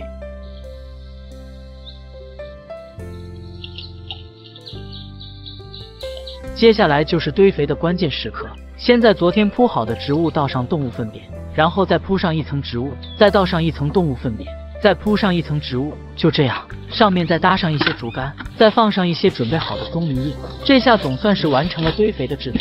这样的堆肥效果你试过吗？做完这些以后，老妖才开始清洗竹筐。不过难搞的是，在原路他发现了调皮狗对花姑娘的摧残，于是老妖又制作了一些竹板。然后按照一定的间距固定在原路跑。虽然路变窄了，但有花的绽放会让整个院子更加有生机。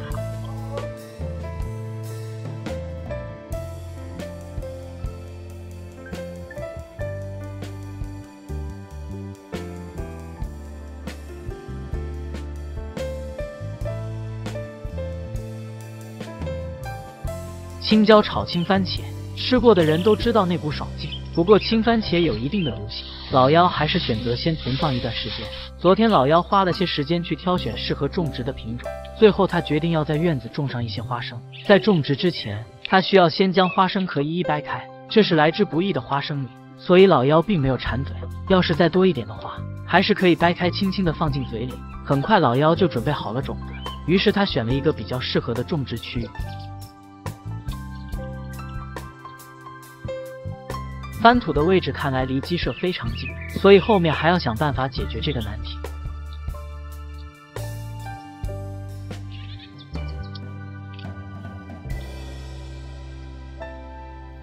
经过一段时间的面朝黄土背朝天，老妖总算开出了一块比较大的场地。为了方便种植，他还是将土壤处理成条状。不过老妖并没有在条形土壤上打窝窝，为什么呢？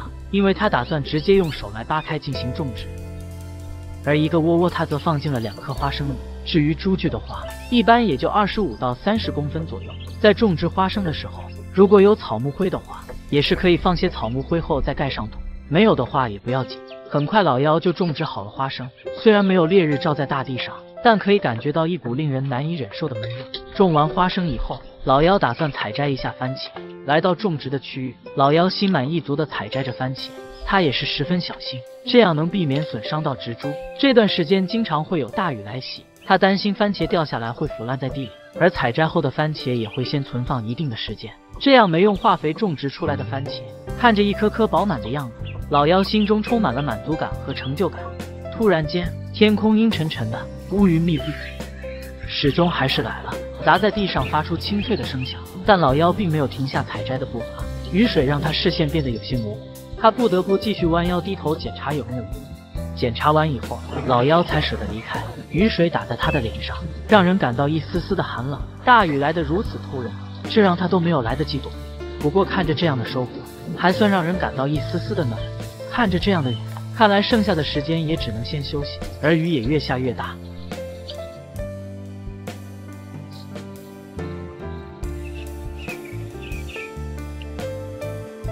外面的景象也变得模糊不清，这样的天气情况非常适合躺平。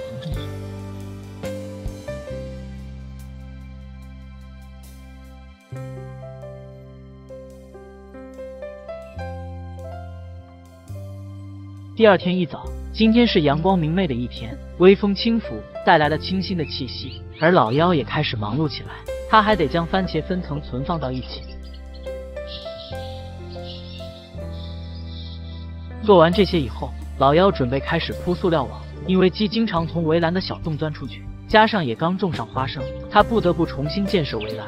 而效果就是这样，将下侧的围栏铺上塑料网。做完这些以后，老妖才开始喂鸡。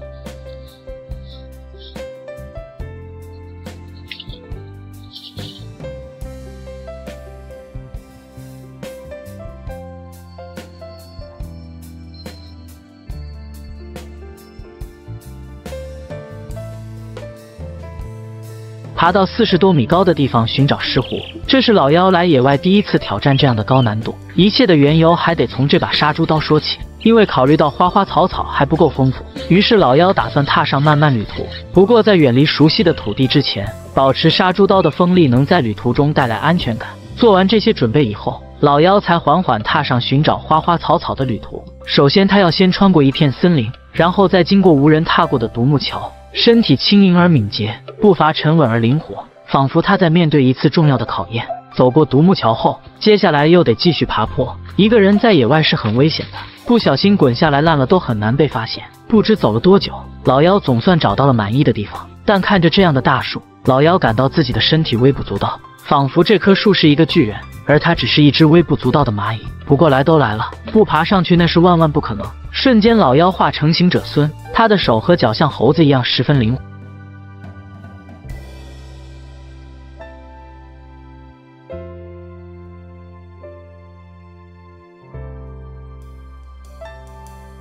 很快，老妖就爬到了树丫叉的位置。这么潮湿的环境，一不小心踩滑了就要断更。不过好在他暂时爬到了可休息的地方，这样方便恢复体力值。体力值拉满后，他又继续往一边爬去。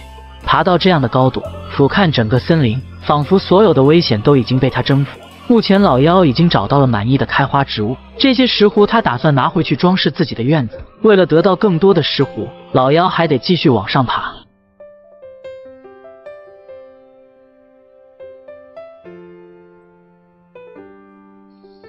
还是应了那句话，得不到的才是最好的，那些轻易得到的很难会珍惜。既然上来了。老妖也是毫不客气的全部收下。不过面对这样的高度，扔下去的石斛不一定都能掉到地上，而这样四十多米的高度下去也有一定的难度。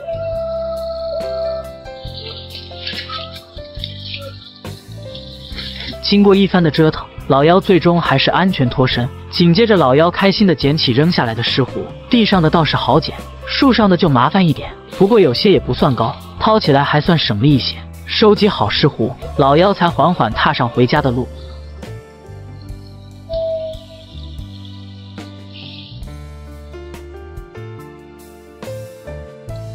回到家以后，老妖先将准备好的腐殖质放进水里，处理完以后，他才开始种植石斛。这一刻是非常安静的。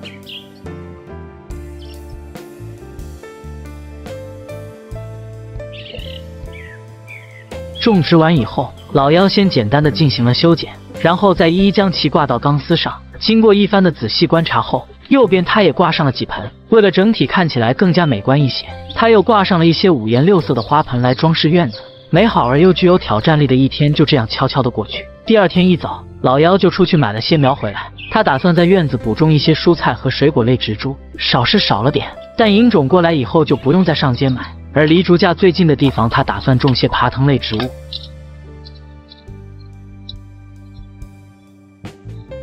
挖坑完以后，老妖出去挑了些牛粪回来。牛粪放进去要先与土进行搅拌，这样种起来也方便用手扶。以后能不能搬本就靠他俩了。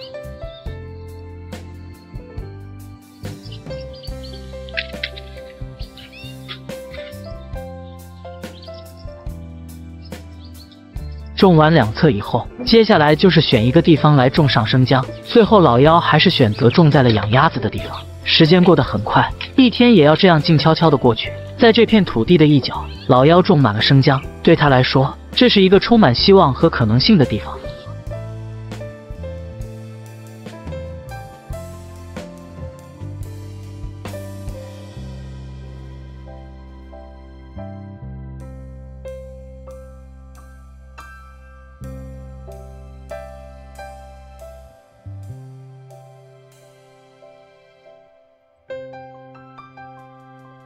老妖种植的南瓜可以卖了，这是他第二次上街进行的买卖。由于老妖这里离集市非常遥远，所以他今天起的比以往都还要早。准备好以后，他开始采摘南瓜。这里的南瓜长势还算喜人，一个个大大小小、形态各异的南瓜挂满了藤蔓。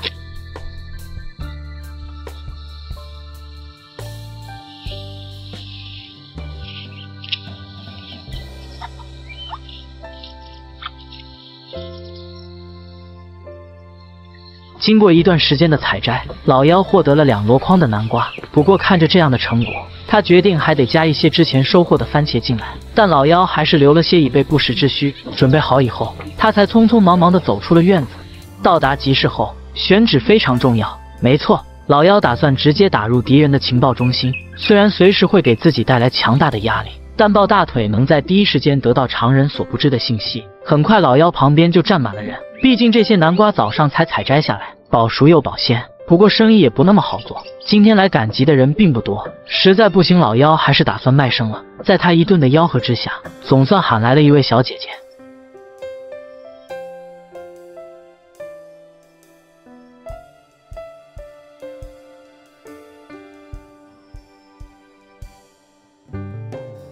不过此刻有位女施主也想买他手中的瓜，但这瓜目前已经名花有主了，无奈的女施主只能靠边站了。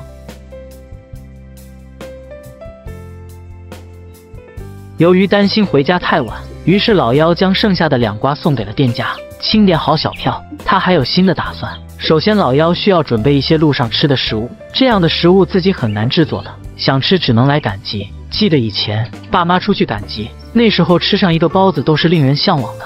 选择这样的食物，不仅便宜，还很方便携带。买完一些生活必需品后，老妖打算给自己来一套洗剪吹。由于条件受限，免去了洗的过程，而剪完的效果。看着比之前精神了那么一点的一点。理发完以后，他打算给自己买一顶帽子，毕竟风里来雨里去的生活常伴身边。做好这些以后，他才慢慢踏上回家的路。回到家以后，看着这样安静的环境，如果你正在享受生活，等你老了的那天，回看今天的一切，你会发现你做对了。这样的生活虽然看着简单了些，但老妖已经很满足。休息好以后，老妖往养殖家禽的地方走去。他先给鸭子们铺了个温暖的小窝，然后再去池塘边装水。一个人的生活里，有这些鸭子也能增添一份乐趣。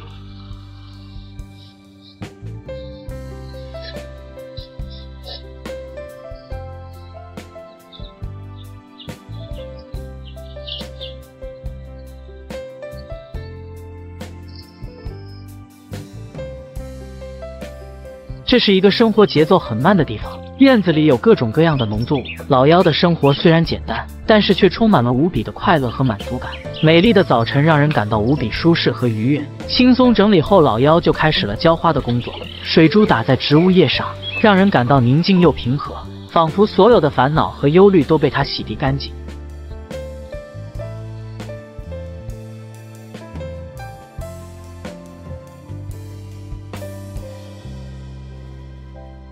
做完这些以后，今天的主角也正式登场。没错，老妖打算在院子种上一些柠檬草，同时也打算种上一些菠萝。不过种植柠檬草的地方，他打算选在围墙旁边。柠檬草可以用于烹饪和调味，比如用来制作美味的炖鸡和老鸭汤，还可以用来煲水、洗澡、洗头，那香味真是棒棒的。同时呢，它也是一种药材。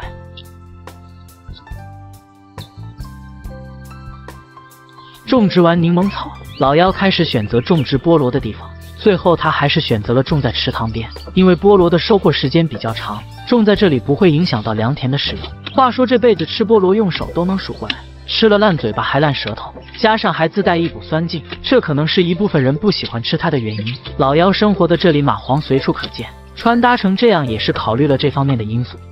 由于整地需要补上一些泥土，他只能这样从外侧铲一些土过去。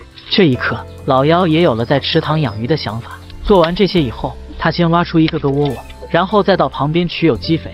原来之前制作的堆肥是这样的用途。现在天色也渐渐暗淡下来，于是老妖先在每个窝窝放上有机肥。放完肥料以后，他才回到室内将菠萝苗放进筐里挑过来。在天黑之前，老妖打算将菠萝苗种植完毕。虽然天色渐渐变暗，但老妖并不着急。他将菠萝苗放进了土里，然后轻轻地覆盖上一层层泥土。平静的生活是属于自己的，不能为了赶时间而忘记了生活本该拥有的那份美好。日出而作，日入而息，在这美好的日出和日落中，可以感受到生命的美好和无限的可能。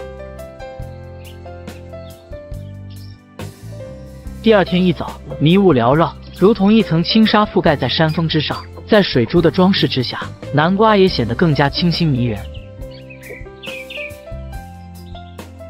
而老妖已经开始忙碌起来，他打算整理出两块菜地，接下来需要重新撒播其他的蔬菜种子。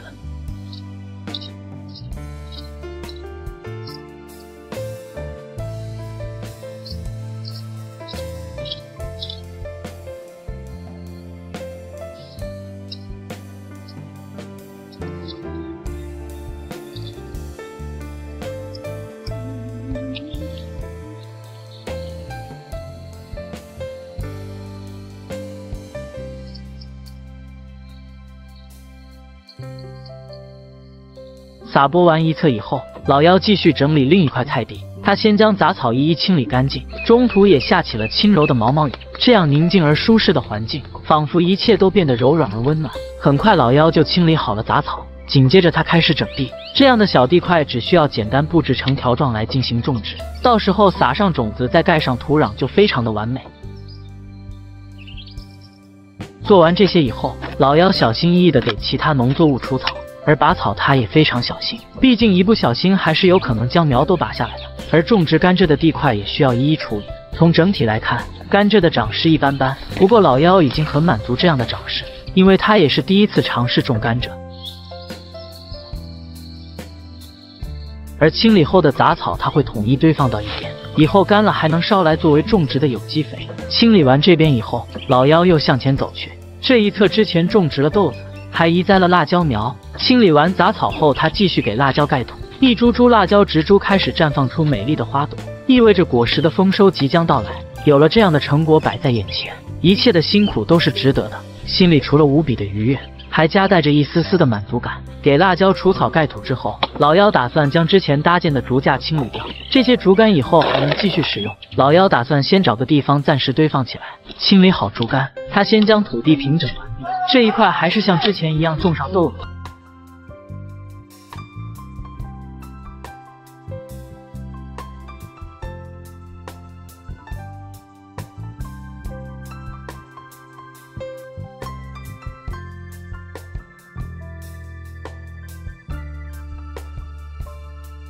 一夜回到解放前，老妖的玉米地惨遭不幸，这是悲惨的一天。老妖今天起晚了些，因为昨晚有牛闯进了他的院子。从现场来看，围栏也被严重破坏，而最惨的则是眼前的这块玉米地。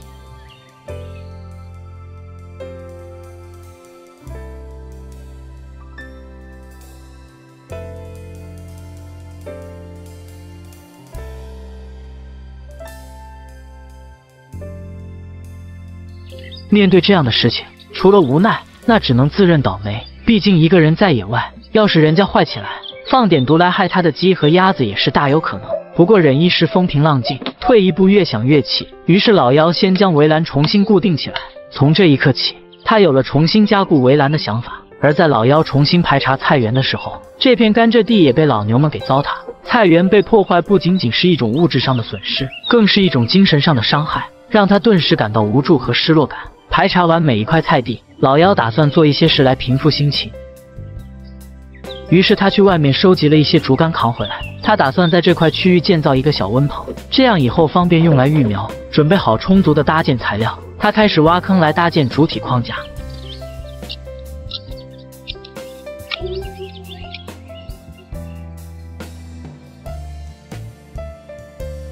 挖完坑以后，先准备六根尺寸合适的竹竿，处理完后再将其一一放入坑中。对于这样的六根柱子，秉承着中间高。两边矮的原则来搭建小温棚。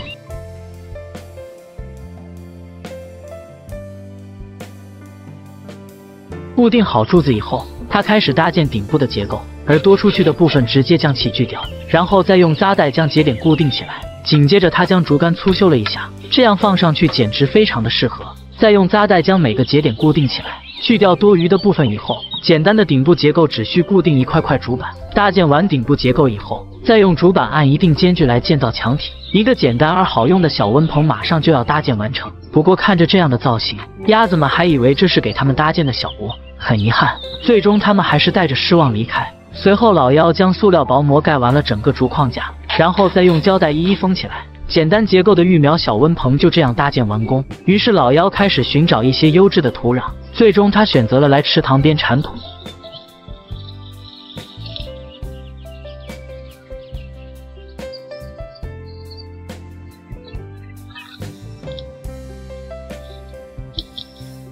为了提高土壤肥力，老妖又走到鸡舍铲了些软料，这样与土壤混合均匀以后还算 OK。混合完以后，先在地上铺两层塑料薄膜，然后再将土壤铲到塑料薄膜上。经过一段时间的平整以后，紧接着就到了关键的环节。老妖打算在温棚里建造一套灌溉系统。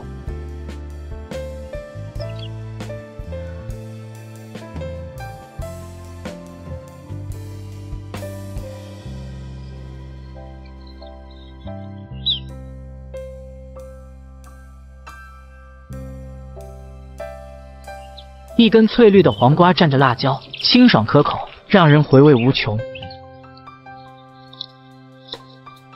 早晨，家禽的呼唤声充满了整个院子。老妖佩戴着那把杀猪刀，开始今天的工作。他的步伐轻快，精神饱满，大步向前，直接朝外面走去。原来老妖来这里是为了砍香蕉树。这条小溪周围长着很多香蕉树，平时老妖就来这里砍回去喂养家禽。虽然老妖说这是香蕉林，但对于植物这块，香蕉和芭蕉我是傻傻分不清。而且香蕉树不是树，它是一种长得很高的草而已。不过扛回去也相当不容易，这样的一棵够吃两天。虽然脚步越走越沉重，但总算是已经回到了温馨的院子里。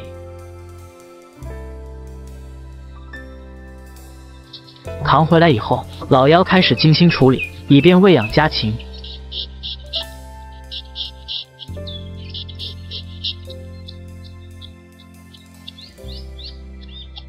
处理完以后，老妖开始喂养鸭子。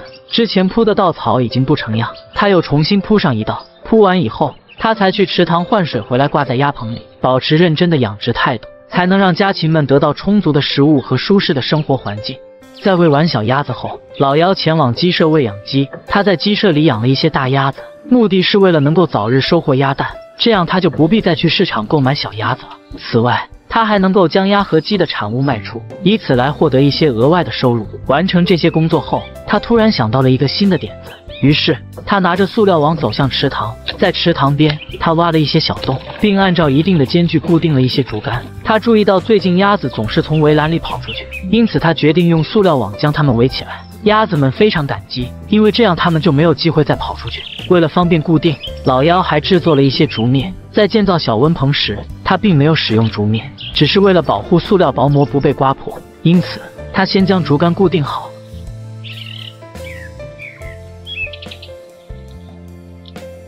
然后再使用竹篾精心的将塑料网固定在竹竿上，同时他也在底部盖上一层土，并用石头压住一些不能盖土的地方。完成这些工作后，他才上去将大鸭子赶出来。小鸭子们在小池塘里玩得不亦乐乎。尽管现在鸭子们并不配合，但下去以后玩水的感觉真的很像。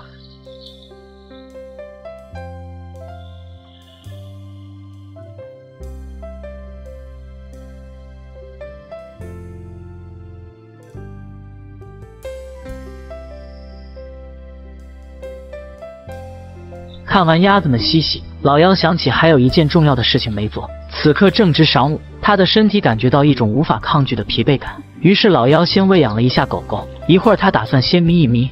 由于眯得太过瘾，醒来时太阳已经不见踪影。这样舒适的环境，虫子都舍不得离去。于是老妖先给辣椒进行除草，然后再慢悠悠地盖起土来。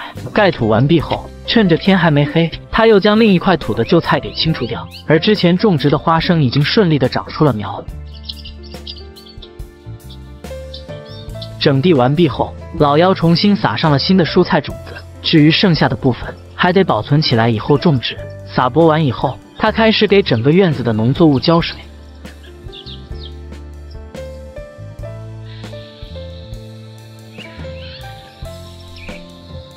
浇水完以后，疲惫的生活还得添加一些调节剂。这时，黄瓜已经到了可以收获的季节，他打算享受一下第一批收获带来的喜悦。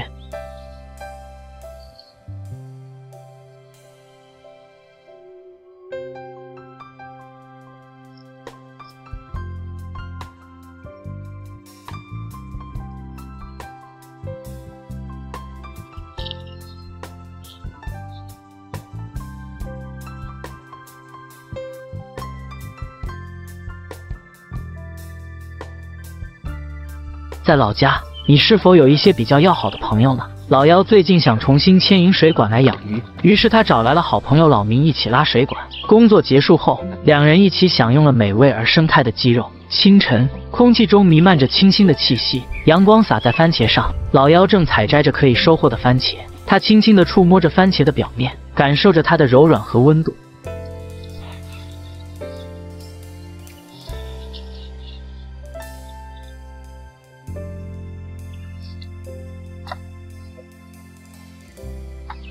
采摘完番茄后，老妖还有更重要的事情要做，他要去见一个从小玩到大的好朋友。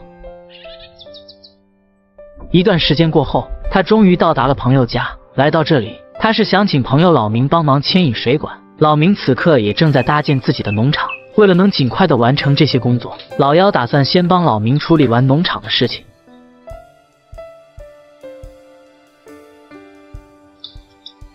制作完格栅后，两人一起进入菜园进行安装。这样简单摆放以后，植物长出来就能顺利的爬上架子。做完这些以后，两人准备出去买水管。开车跑了十多分钟的路程后，他们到达了买卖管子的店铺。管子之前老妖已经预定过，现在只是来这里取货。于是他们简单制作了一个支撑架，虽然竹竿有点影响回去的速度，但这已经是目前最优的选择。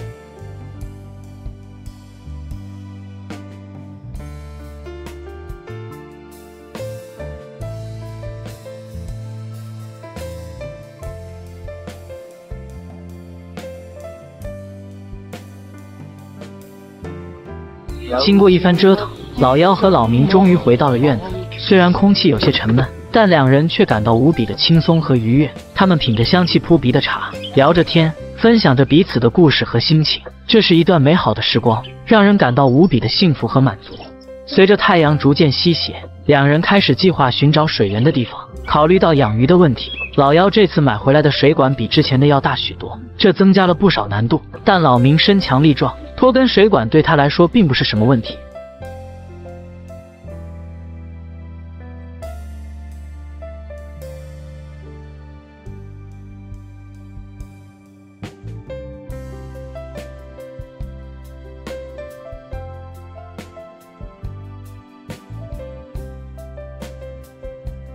经过一段时间的搜索，他们终于确定了水源的位置。于是两人开始清理周围的环境，准备引进水源。清理完以后，目前看来水量有些小，但维和起来还是够用的。他们一直忙到了天黑，才成功的引进了水源。这是疲惫又辛苦的一天。于是老妖抓了只鸡来款待他的老朋友。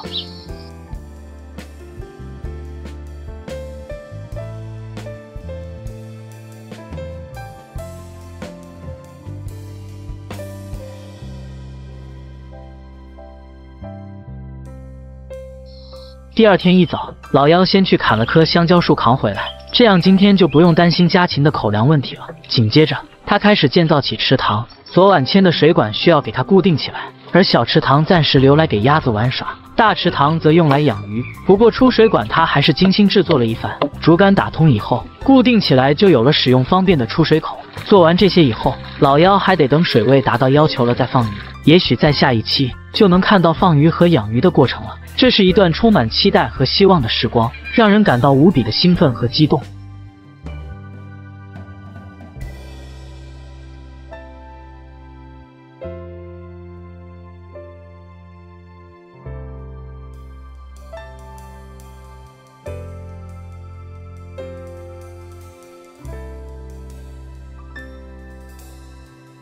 利用几根水管、弯头和三通拼接起来，老妖竟然突破高差，实现了用水自由，真是太不可思议了。老妖本来想在这个池塘里养鱼，但目前的水位让他很不放心。为了拥有稳定的水源，他上集市买了些制作水锤泵的材料。由于之前引来的山泉水非常不稳定，老妖打算从溪流来解决问题。找到合适的水源点位后，他拿出了准备好的一些材料，而泄水阀在整体结构上处于非常重要的地位。但老妖想先安装压力罐，他先在管子上涂一圈胶水，并用手轻微的涂抹一下。很快他就将压力罐两头安装完成，紧接着开始制作安装水锤泵泵体。他在丝口的位置缠好生料带，以保证安装的每个部件不要漏气。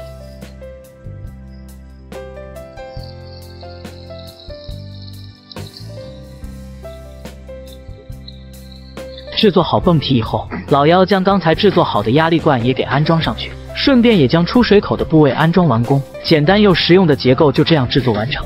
接着，他开始寻找适合的水源点位，最终他选择将进水管安装到那里。看着这样的效果，他充满着信心。而后，老妖开始确定水锤泵的具体安装位置。他先将周围清理干净，然后再固定一根木棒来作为水锤泵的支撑。毕竟水在流通后会产生震动，老妖必须把整个结构绑扎牢固。固定完以后，再收集一些石头堆放在上面。这样看起来就稳固了许多。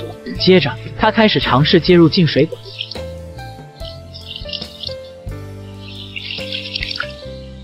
确定这样的方式可行后，他将进水口先封闭起来，紧接着也一起将出水管进行安装。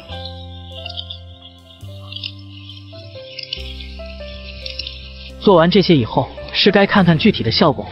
在一番的反复试探中，老妖确认了这次的成果十分满意，于是他将出水管一一固定起来。现在总算可以边走边检验自己的设计成果。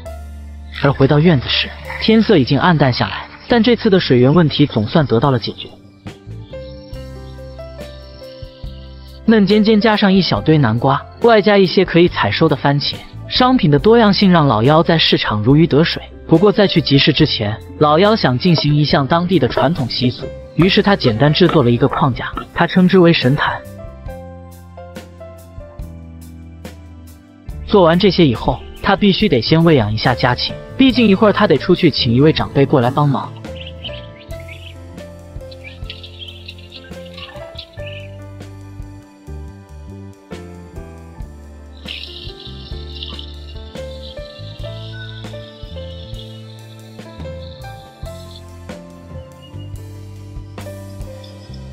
而在喂养鸡的时候，老妖随手抓了一只鸡回去。处理好以后，将其放进小锅里炖。接着，他开始出去请一个专门从事神圣工作的长辈，直到太阳下山，他们才一起回到了院子里。随后，他开始给老妖指定安装框架的位置。得到具体点位后，老妖开始二次确定方位。确定好以后，他开始向下挖坑来埋柱子。这是老妖那边的传统习俗，大家记得不要迷信，要相信科学哦。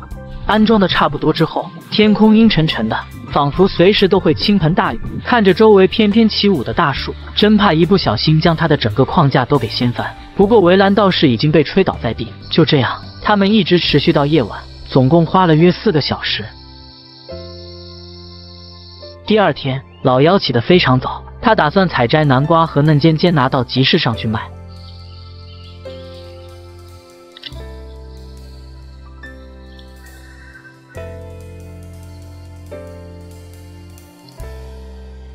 为了增加商品的多样性，老妖还是继续采摘了一些番茄。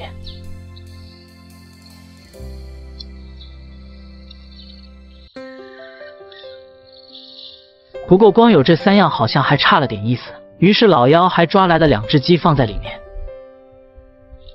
虽然很沉，但他相信今天自己会多挣一些。到达集市后，他还是选了之前常来的地方。而刚到集市的他，就感觉今天很不对劲，似乎也预示着今天会很幸运。果不其然。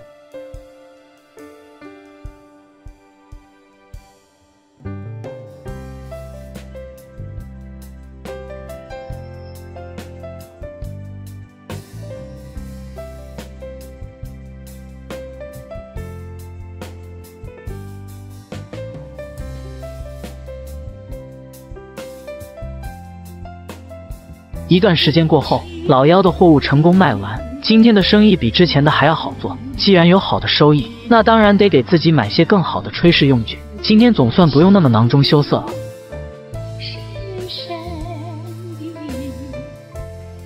买完所需用品后，他回到了自己的院子。还是家里让人更安静一些。休息好以后，老妖缓缓向养殖家禽的地方走去。养殖家禽可以提高收入来源，这是他目前野外最好的选择之一。以后应该也会养殖家畜，毕竟木薯之前已经开始种植。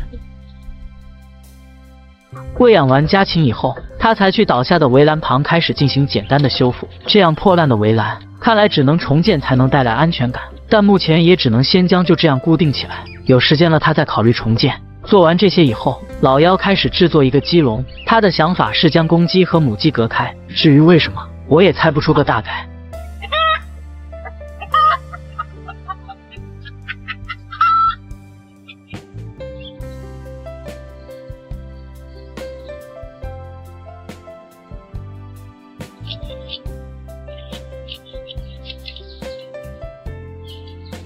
一个人的野外生活会很无聊吗？就是这样种植都得亲力亲为的生活。早晨，院子里的花草散发出淡淡的清香，老妖也开始了忙碌的一天。由于之前的玉米地已被水牛狠狠的糟蹋，老妖打算重新种一波玉米。边挖窝窝，他边回想之前的种种阅历。也许有一个伴，一起聊聊彼此的经历，那肯定很安逸。看着现在的成果，没有人一起分享，那真的百思不得其解。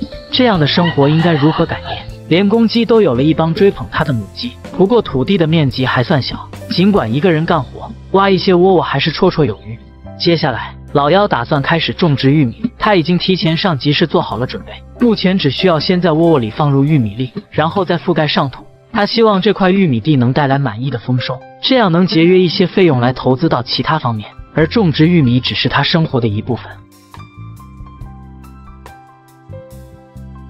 接着，老妖开始给木薯除草。木薯可以用来喂养家畜，以后养猪会变得十分方便。直到夜幕降临，老妖也没有完成全部的除草工作。早晨，温暖的阳光洒进了老妖的院子，他专注地清理昨天剩余的杂草。随着时间的推移，空气中弥漫着一股热浪，太阳的光芒让老妖感到眼花缭乱。他打算先躲到室内休息一下。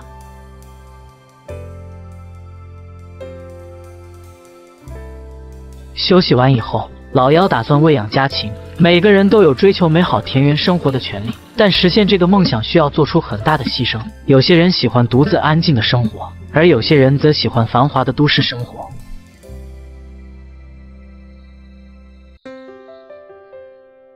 喂养家禽以后，老妖打算改善浴室的地板，于是他来到小溪边收集沙子作为建造材料。将沙子运回家后，他先用沙子来作为垫层。平整好以后，他继续在沙子上浇一遍水，接着他开始用水泥和沙子搅拌成水泥砂浆，并将其均匀地抹在垫层上。经过精心建造，老妖满意的完成了一块平整度还可以的浴室地面。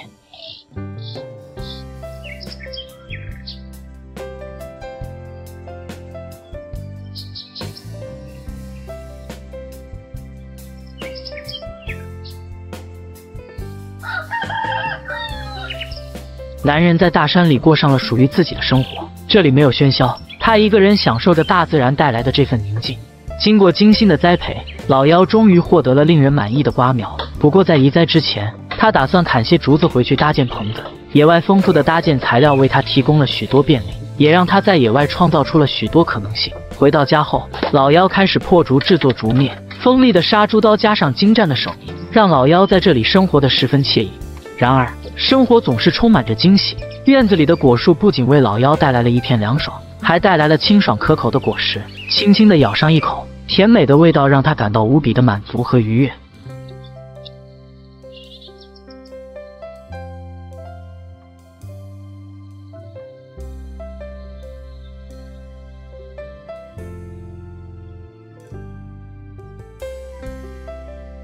制作好竹篾后，老妖开始搭建棚子。有了柱子作为支撑，加上竹篾的完美固定，他很快就搭建出了一个足够宽的外框架。接着，他开始往上面放置一些竹竿，跨度一般的竹棚。老妖还是用竹篾将每个节点都固定起来。做完这些以后，他收集了一些竹子摆放到上面。用不了多久，这个棚子将结满许多小嫩瓜。接下来，老妖开始在他的院子里移栽瓜苗。他的院子开满了各种漂亮的花朵。营造出一个安静舒适的环境，非常适合养老。而后，老妖开始挖坑来进行种植。至于肥料的话，他选择使用以前制作的堆肥来作为肥料。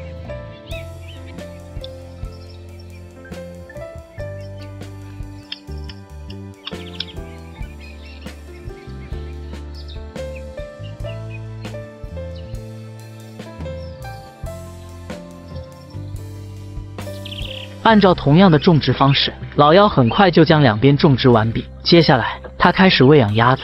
在这个野外的世界里，一切都是那么的自然和宁静。单身的他不需要担心工作和压力。自从来到这里，老妖享受了这份宁静和自然的美好。喂养家禽以后，趁着天还没暗淡下来，老妖开始给农作物浇水。在浇水的过程中，它可以很好的感受到水滴落在叶子上的声音，让它们得到充足的水分，同时也让老妖获得了很多希望。他的眼里充满了等待和光芒，这让他更加热爱这片美丽的土地。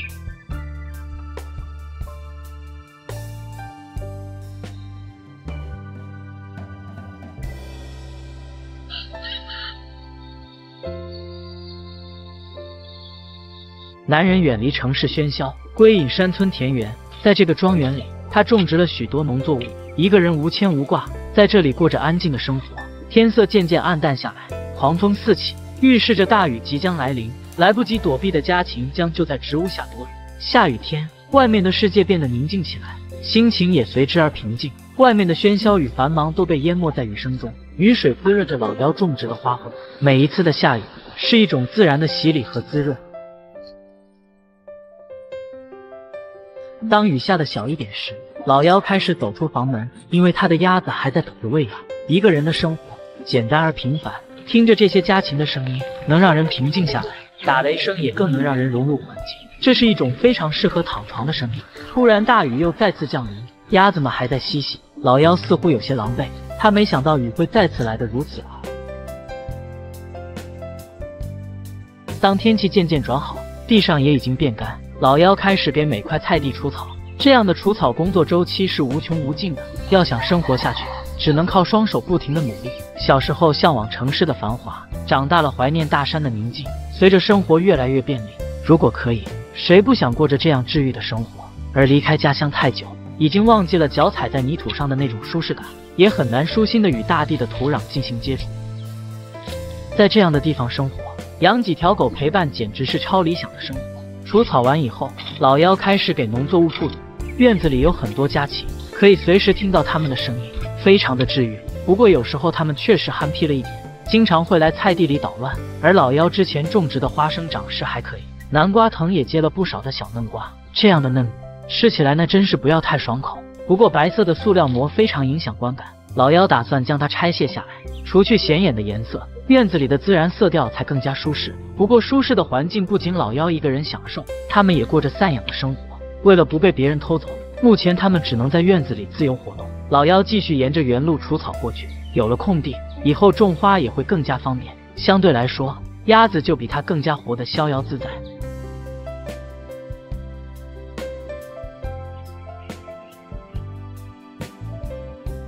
休息好以后。老妖还得将处理好的杂草堆放起来，这些杂草他会统一堆放到围栏的一侧，以后干了烧掉还能作为天然肥料。之前有人说这堆石头很影响美观，于是老妖决定将它用来围合菜地。不过在石堆的底部，他发现了一只老鼠。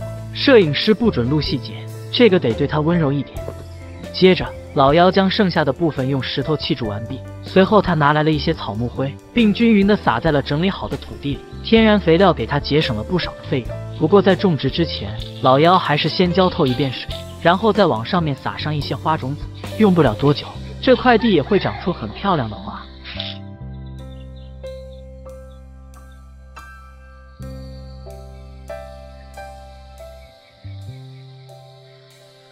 做完这些以后。趁着夜幕降临之际，老妖还打算完成一件心事。他打算和这里的村民协商养鸡互利的事情。最终，他成功获得了这次机会。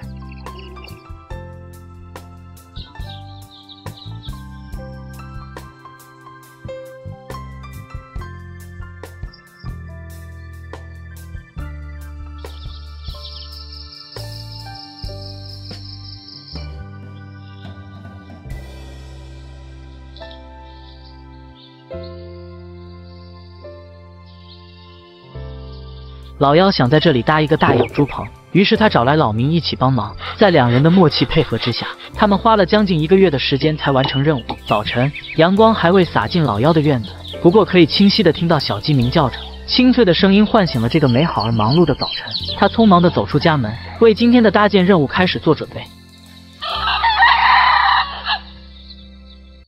最终，老妖来到了老明家。这次的搭建强度比较大，他需要身强力壮的老明帮忙。谈好具体的任务，两人拿着一些装备开始出发。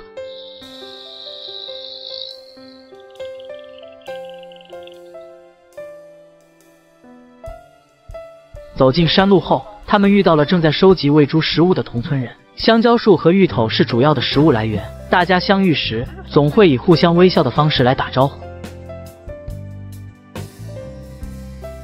一直往前走。他们发现了一些枯木，经过搜寻，两人获得了一些老化的木板。不过木板似乎承载着整座山的重量，每一块都散发出沉稳的气息。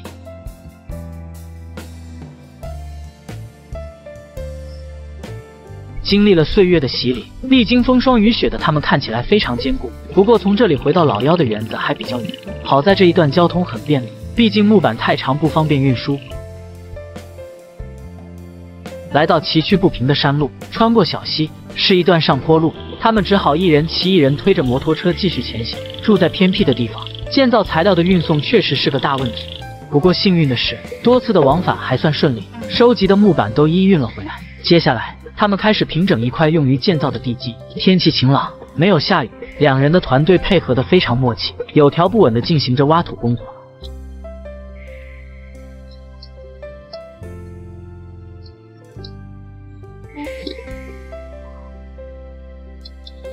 挖到一定的宽度后，老妖开始挖坑来建造柱子。平整地基的任务交给了身强力壮的老明。地基以后会建造成水泥板，所以这样的平整度还远远不够。不过山峰和树木渐渐被昏暗的光线所笼罩，也预示着今天的建造任务也告一段落。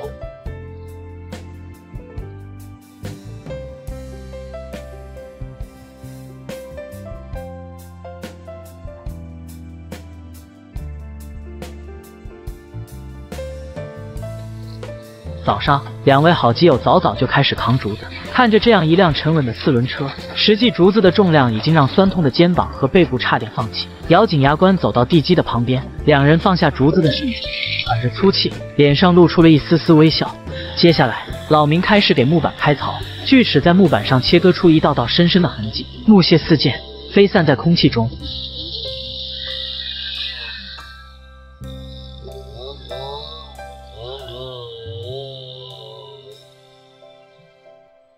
处理好木板的顶部，两人开始安装木板来作为柱子。尽管太阳已经离开了这片小区域，但他们的背部已经被汗水浸湿，完成一锤定音的效果。老妖用木棍简单夯实了一下柱脚的，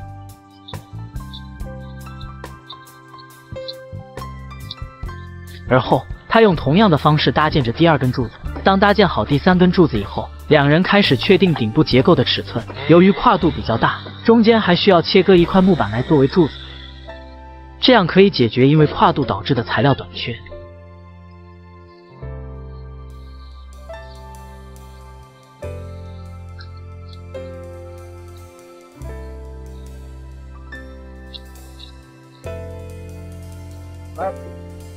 建造好两侧的柱子接下来需要加工木头来搭建顶部结构老明化身伐木工只见他手握锯子不停的往下压。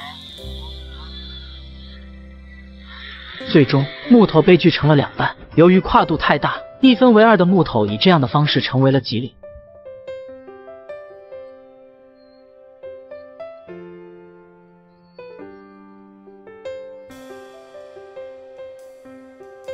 随着夜幕降临，老妖和老明开始整理今天搭建的材料，收拾好工具，一切的工作还得明天继续。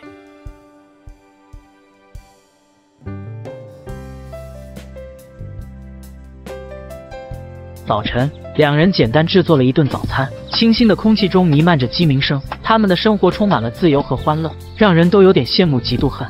享用完早餐，老妖和老明开始搭建底部结构，固定方式还是像往常一样用竹篾。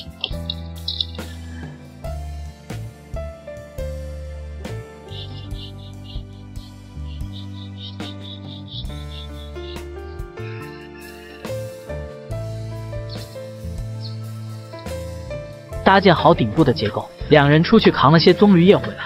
棕榈叶是一种优质的建造材料，它本身具有很高的韧性和耐久性。准备好以后，老妖打算先上去接住材料，老明则负责递一些棕榈叶上去给老妖。摆放好材料，他也加入了老妖的铺设队列中。两个好基友就这样开始了漫长的盖顶任务。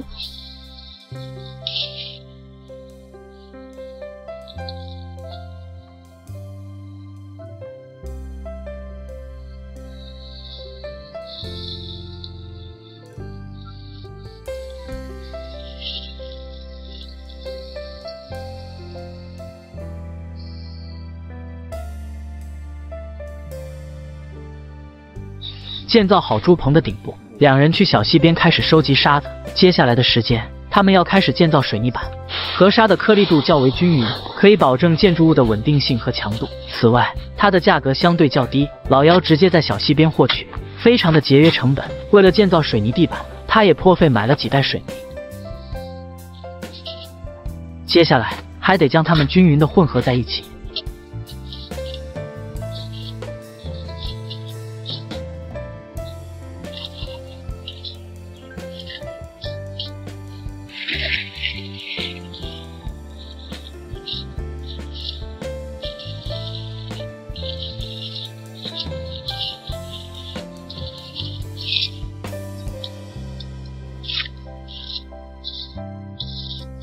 随着时间的推移，一块较为平整的地板已经搭建完成。老明正在加工木材，他们需要加工一些用于建造墙体结构的木方。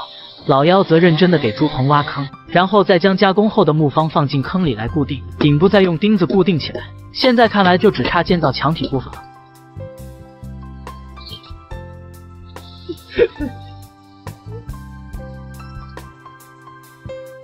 搭建完墙体结构，老明打算今晚回去一趟。明天他还会继续骑着摩托来帮老妖。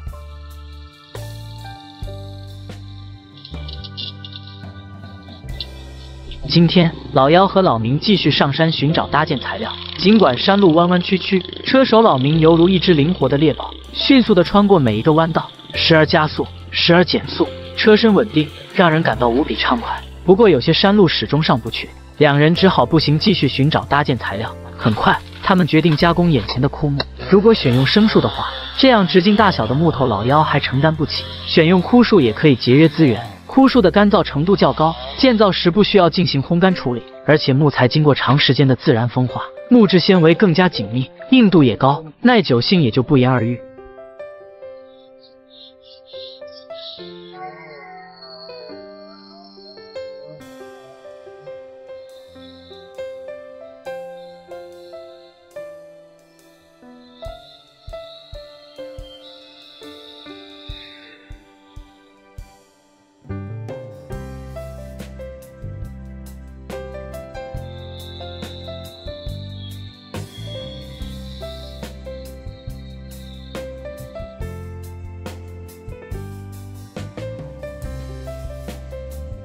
最终，两人收集了一车满意的木板，接下来的路就得靠强壮的老明把握了。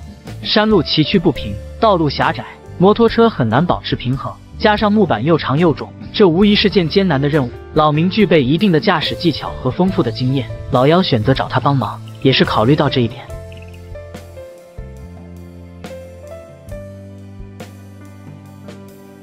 随后，他们将木板先暂时堆放起来。一块块木板的叠加，是良好基友一番的努力和汗水，而这些还远远不够，所以两人又去山里收集后运送回来。有了足够的木板，老妖和老明开始搭建墙壁。这样围合起来的大空间，感觉能养不少的猪。老妖一直没更新，是因为这个大猪棚花了他许多时间。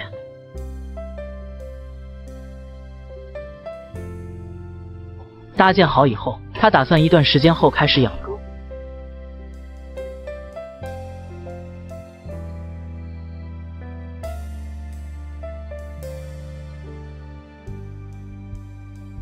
这样简单而充实的生活是你向往的吗？每天早起喂鸭喂鸡，无聊的时候还能养养兔子，增添生活乐趣。天刚亮，老妖已经从床上爬起来。起床的首要任务当然是得先喂养家禽。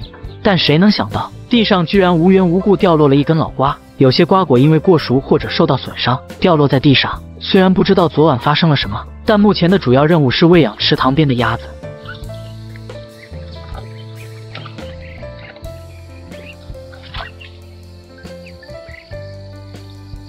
喂完鸭子，仔细检查后发现竹架已经损坏，于是老妖拿来了竹竿开始进行修缮。看来瓜果掉下去，大部分还是风的功劳。不过这次换上新竹竿，应该能持续很长一段时间。接下来，他开始准备今天的养殖计划，于是制作一些竹篾成为了重中之重。它是野外最好的固定材料之一。制作好竹篾，接下来还得挑一块养殖地。之前建造的竹棚已经荒废，旧的不去，新的不来。现在需要先将之前的搭建材料给拆卸下来。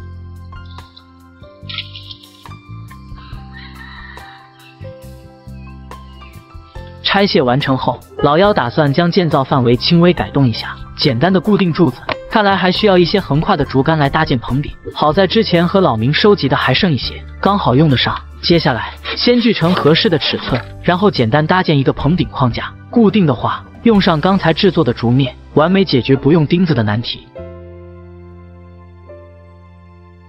而后。顶部再固定一排排竹竿来作为龙骨，这样覆盖棕榈叶就方便了许多。由于棕榈叶已经用完，老妖又花了些时间出去收集棕榈叶。同时，墙体的建造也需要一些竹竿来作为原材料。直到目前，真正的难题已经摆在了眼前。别看棚子小了些，这样也得人工爬上去盖顶。但凡再吃胖一点，估计摔下来会发出嘤嘤嘤的叫声。不过这种完美的小身板，玩上金鸡跳舞都完全不在话下。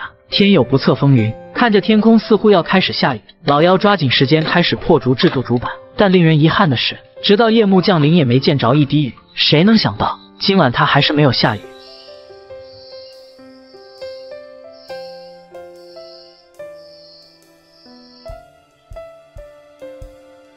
早上，老妖继续编织着竹板。这样的养殖棚可能缺点就在于排水的问题。为了提高墙体的稳固性，他用竹篾配合竹竿来完成强度的提升。搭建完棚子，这些竹板先不要扔，放在家门口，平时还能拿来生火做饭。做完这些以后，老妖的快递到了，他买来了几只小白兔。小白兔生长速度快，繁殖能力也强，不仅可以养来卖，它本身肉质好，口感鲜美。但更巧的是，大雨还是来了。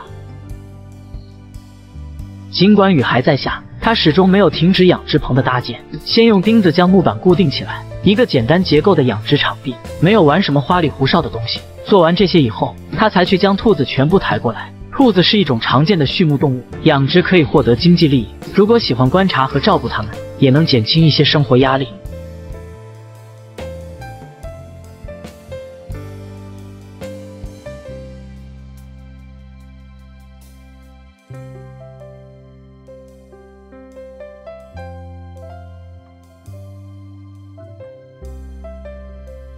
男人一个人在大山里过着单身生活，平时靠售卖农产品补给家用。不过，养殖的家禽有了新的收获，老妖的南瓜又到了采摘之际。他打算今天多采摘一些上集市变卖。这一次的收获看着比以往都还要丰富一些。简单装入袋中，他开始准备出发去集市。到集市后，今天的人流却异常的少，只有零零散散的几个人路过。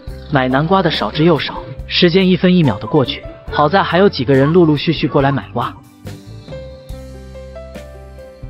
最终，他还是决定换个思路来卖瓜。对于一些摊主，本着等价交换的原则，他用南瓜换来了一些食品，接着再挑去一些有着需求的人家户，再怎么样也得想方设法将它卖完。而后，老妖带着半天的疲惫回到了院子。此刻天空下起了大雨，好在已经回到家中。下雨天气非常适合躺在床上，然后静静的等待雨停带来的清新空气。第二天，空气中弥漫着一股闷热。老妖开始喂养鸭子，并查看目前的长势。尽管离鸭子下蛋还有一段时间，幸运的是，最初养殖的鸡已经有了新收获。孵化小鸡才能节省更多的费用。而对于照料小兔子的生活，他暂时还没想到更优的养殖方式。看来只能先暂时割草来进行喂养。但就在他外出收集野芭蕉树的时间里，菜地却被水牛进来狠狠的糟蹋。破损的围栏带来的是二次沉重的打击，因为之前也遭受过一次老牛的伤害。简单固定好围栏，老妖开始计划鱼塘的扩建。一直没养鱼，是因为这样的水位达不到他的要求。拔出塞子，他打算先将池塘的水排干。老妖的想法是这样的：既然要做，那就要做大。养些小鱼小虾有啥意思？排完一部分的水，他开始拆卸之前建造的木栈道。这些木头先暂时堆放到一边。拆卸这些是为了给后期建造做准备。计划是请挖掘机来进行深度挖掘。不过池塘的水还未排干，于是老妖先将出水管给挖出来。要将最后的水排干，还得将沟挖深一些。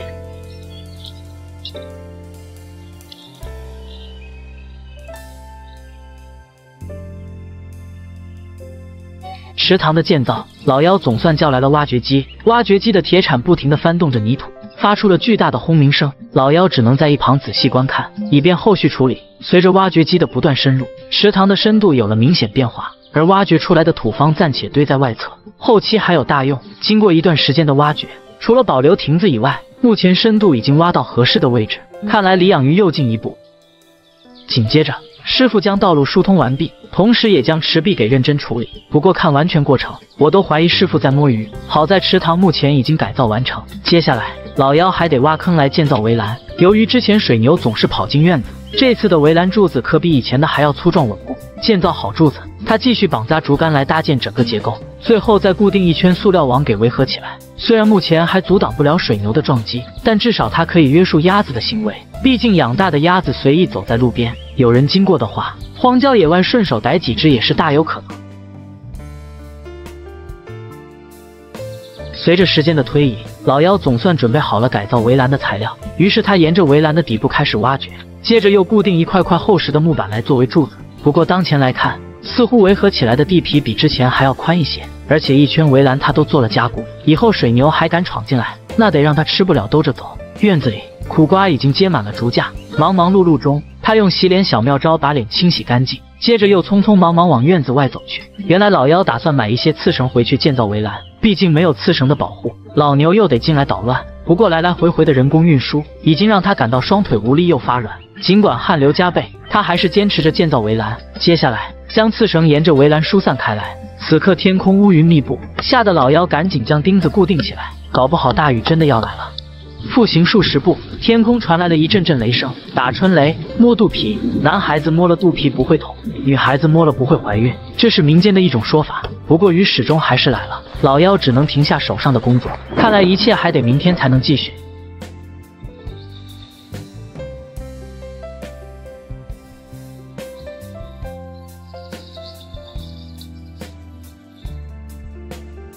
时间来到第二天，天气晴朗，是个建造的好日子。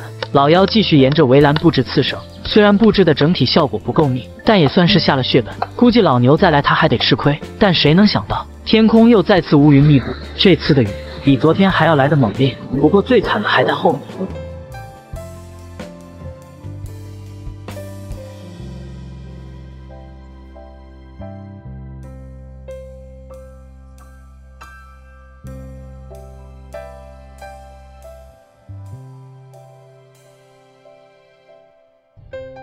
等了许久，终于等到这个男人开始养猪。不过在养猪之前，他还有很多任务需要完成。第一步就是制作一个用来喂猪的食槽。一个人在这里生活时间很充裕，种植花花草草，养鸡养鸭也是一种乐趣。制作好食槽以后，先把它放在一边，下午再去朋友老明家抓猪。接着，老妖开始剁一些野香蕉树来喂养鸭子。香蕉树是一种天然的饲料，用它来喂养鸭子能降低养殖成本，提高养殖效益。而且剁碎以后鸭子很喜欢吃。至于养大的鸭子，除了能带去集市变卖，平时还能做一些烟熏鸭储存起来。想改善伙食，可以直接用来制作一些美食。做完这些以后，辣椒也到了采摘之际。经常下大雨，也会打落一些烂在地里。采摘辣椒时，当看到一个个小小的绿色逐渐变成鲜红色，这种喜悦是无法表达的。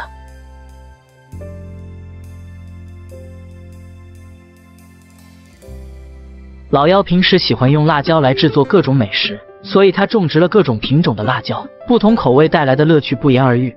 采摘完成后，再将它们放在外面进行晾晒，以便储存。生活没有辣椒那是万万不能。做完这些，养猪计划正式开启。看这天色，今天不会也要下雨吧？于是老妖急匆匆的来到了老明家，两个好朋友坐下来互相交流生意。他们互相交流着自己的想法和建议，最终达成一致。他们决定合作，共同养猪。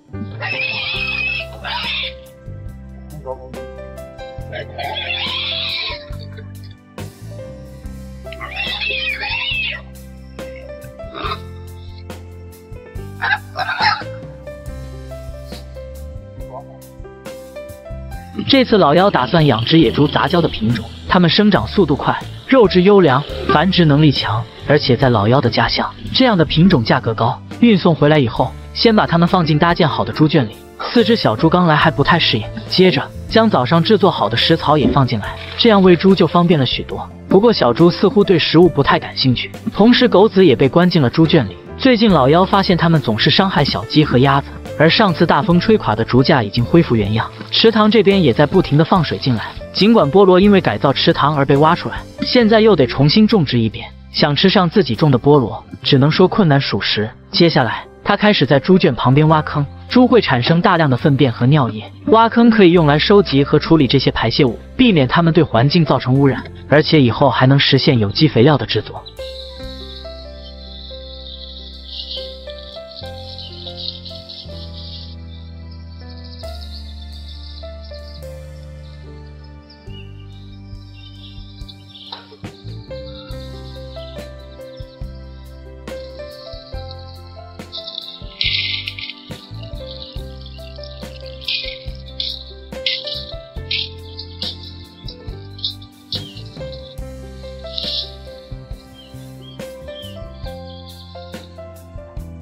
可爱的野猪杂交品种小猪，男人直接挖野菜来喂养。老妖一早就开始清扫竹屋和院子，他的兔子正悠闲地进入梦乡。紧接着，他准备开始喂猪。这是从朋友那里抓回来的小猪。为了方便制作食物，他开始到小溪边收集卵石，然后把它们一一放进挖好的洞里。经过简单的夯实以后，架锅上去生火就能制作猪食了。趁着晴朗的天气，老妖又再次来到小溪边寻找野菜。听老妖说，这里的人们经常用这种野菜喂猪，要不是野菜免费，养猪还得破费。就是丛林里的小动物有点多，不过只要不是大辣条，一切也还算安全。经过一段时间的收集，他已经获得满意的一堆野菜。接下来放进小溪清洗干净，回去简单处理就能煮来喂猪。真是感谢大自然的馈赠。洗干净后，老妖简单用藤条捆绑起来，然后用竹竿从两端穿过，这样就能方便直接跳回去。回来以后，用尖刀简单处理一下。小猪已经感觉到猪食正在制作，好的野菜要懂得珍惜，坏的也不要浪费。至于剩下的，暂时放在上面，下一顿还要继续。但光用野菜制作也太过于单一，于是老妖又剁了一些香蕉树来混合一起，把它们倒在大锅里混合起来。而清澈的溪水可以用桶提回来倒在锅里，方便的水源给养猪带来了极大的便利。然后老妖用竹子简单生了个火。浓烟瞬间笼罩了整个空间。为了防止糊锅，他用刚才精修的竹板简单搅拌了一下，然后又急匆匆的外出收集材料。原来老妖是出去收集一些竹竿，回来以后他继续生火制作猪食。盖上锅盖，老妖简单确定出墙体的尺寸，然后将得到的竹竿破竹制作成竹板，随后再编织成一块块大竹板。这样的成品直接用来搭建墙体，简直完美极了。然后再将剩下的一块也封闭起来，竹板的两端打入钉子固定起来。完美解决了不用竹篾固定的问题，现在看起来也比较有安全感。做完这些，再把柴火统一收集放到一侧，随后老妖才开始喂猪。没有谷物带来的装饰，小猪们似乎有点嫌弃这样的食物。好在有竞争就有压力，小猪们很快就吃完了食物。喂完猪，老妖才开始喂养鸭子。看着鸭子逐渐长大，他的心里充满了无限的喜悦。但尴尬的是，池塘的水位还没达到放鱼的条件。接着，他在院子简单采摘了一些植物叶。没有更好的条件，老妖只能暂时用这种方式来喂养兔子。一天的疲惫也在悄无声息的浇花中过去。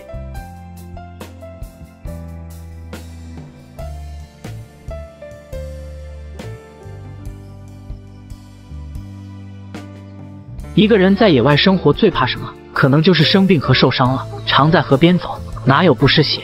老妖左手受伤严重，干活非常不便。在这样尴尬的年纪，就怕遇到一些令人尴尬的事情。老妖的姐姐在得知整个事情以后，她打算来这里帮老妖照料农场。来到这里，姐姐也顺便带了些果子过来。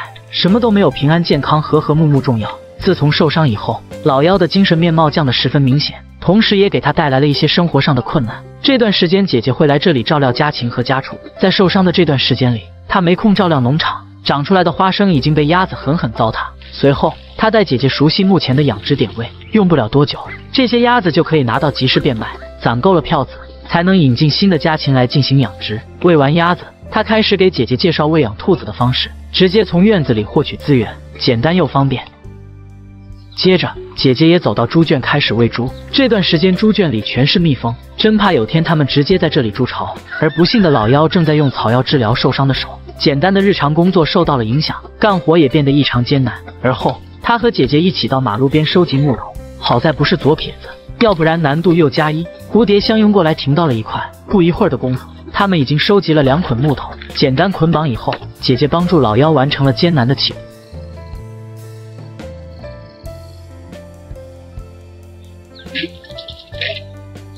烈日炎炎的天气让两人疲惫不堪，这个时刻坐在家里会非常的凉爽。但谁能想到，竹架在风的破坏下直接倒塌，瓜也散落一地，真是倒霉透顶。看着满地的瓜果，老妖顿时萌生了一个想法：既然这样，还不如将其采摘下来上集市变卖。随后，两人简单将竹架支撑起来。为了避免白跑一趟，姐姐开始收获一些南瓜尖，同时院子里可以卖的她都采摘了一点。做完这些，两人上集市开始摆摊。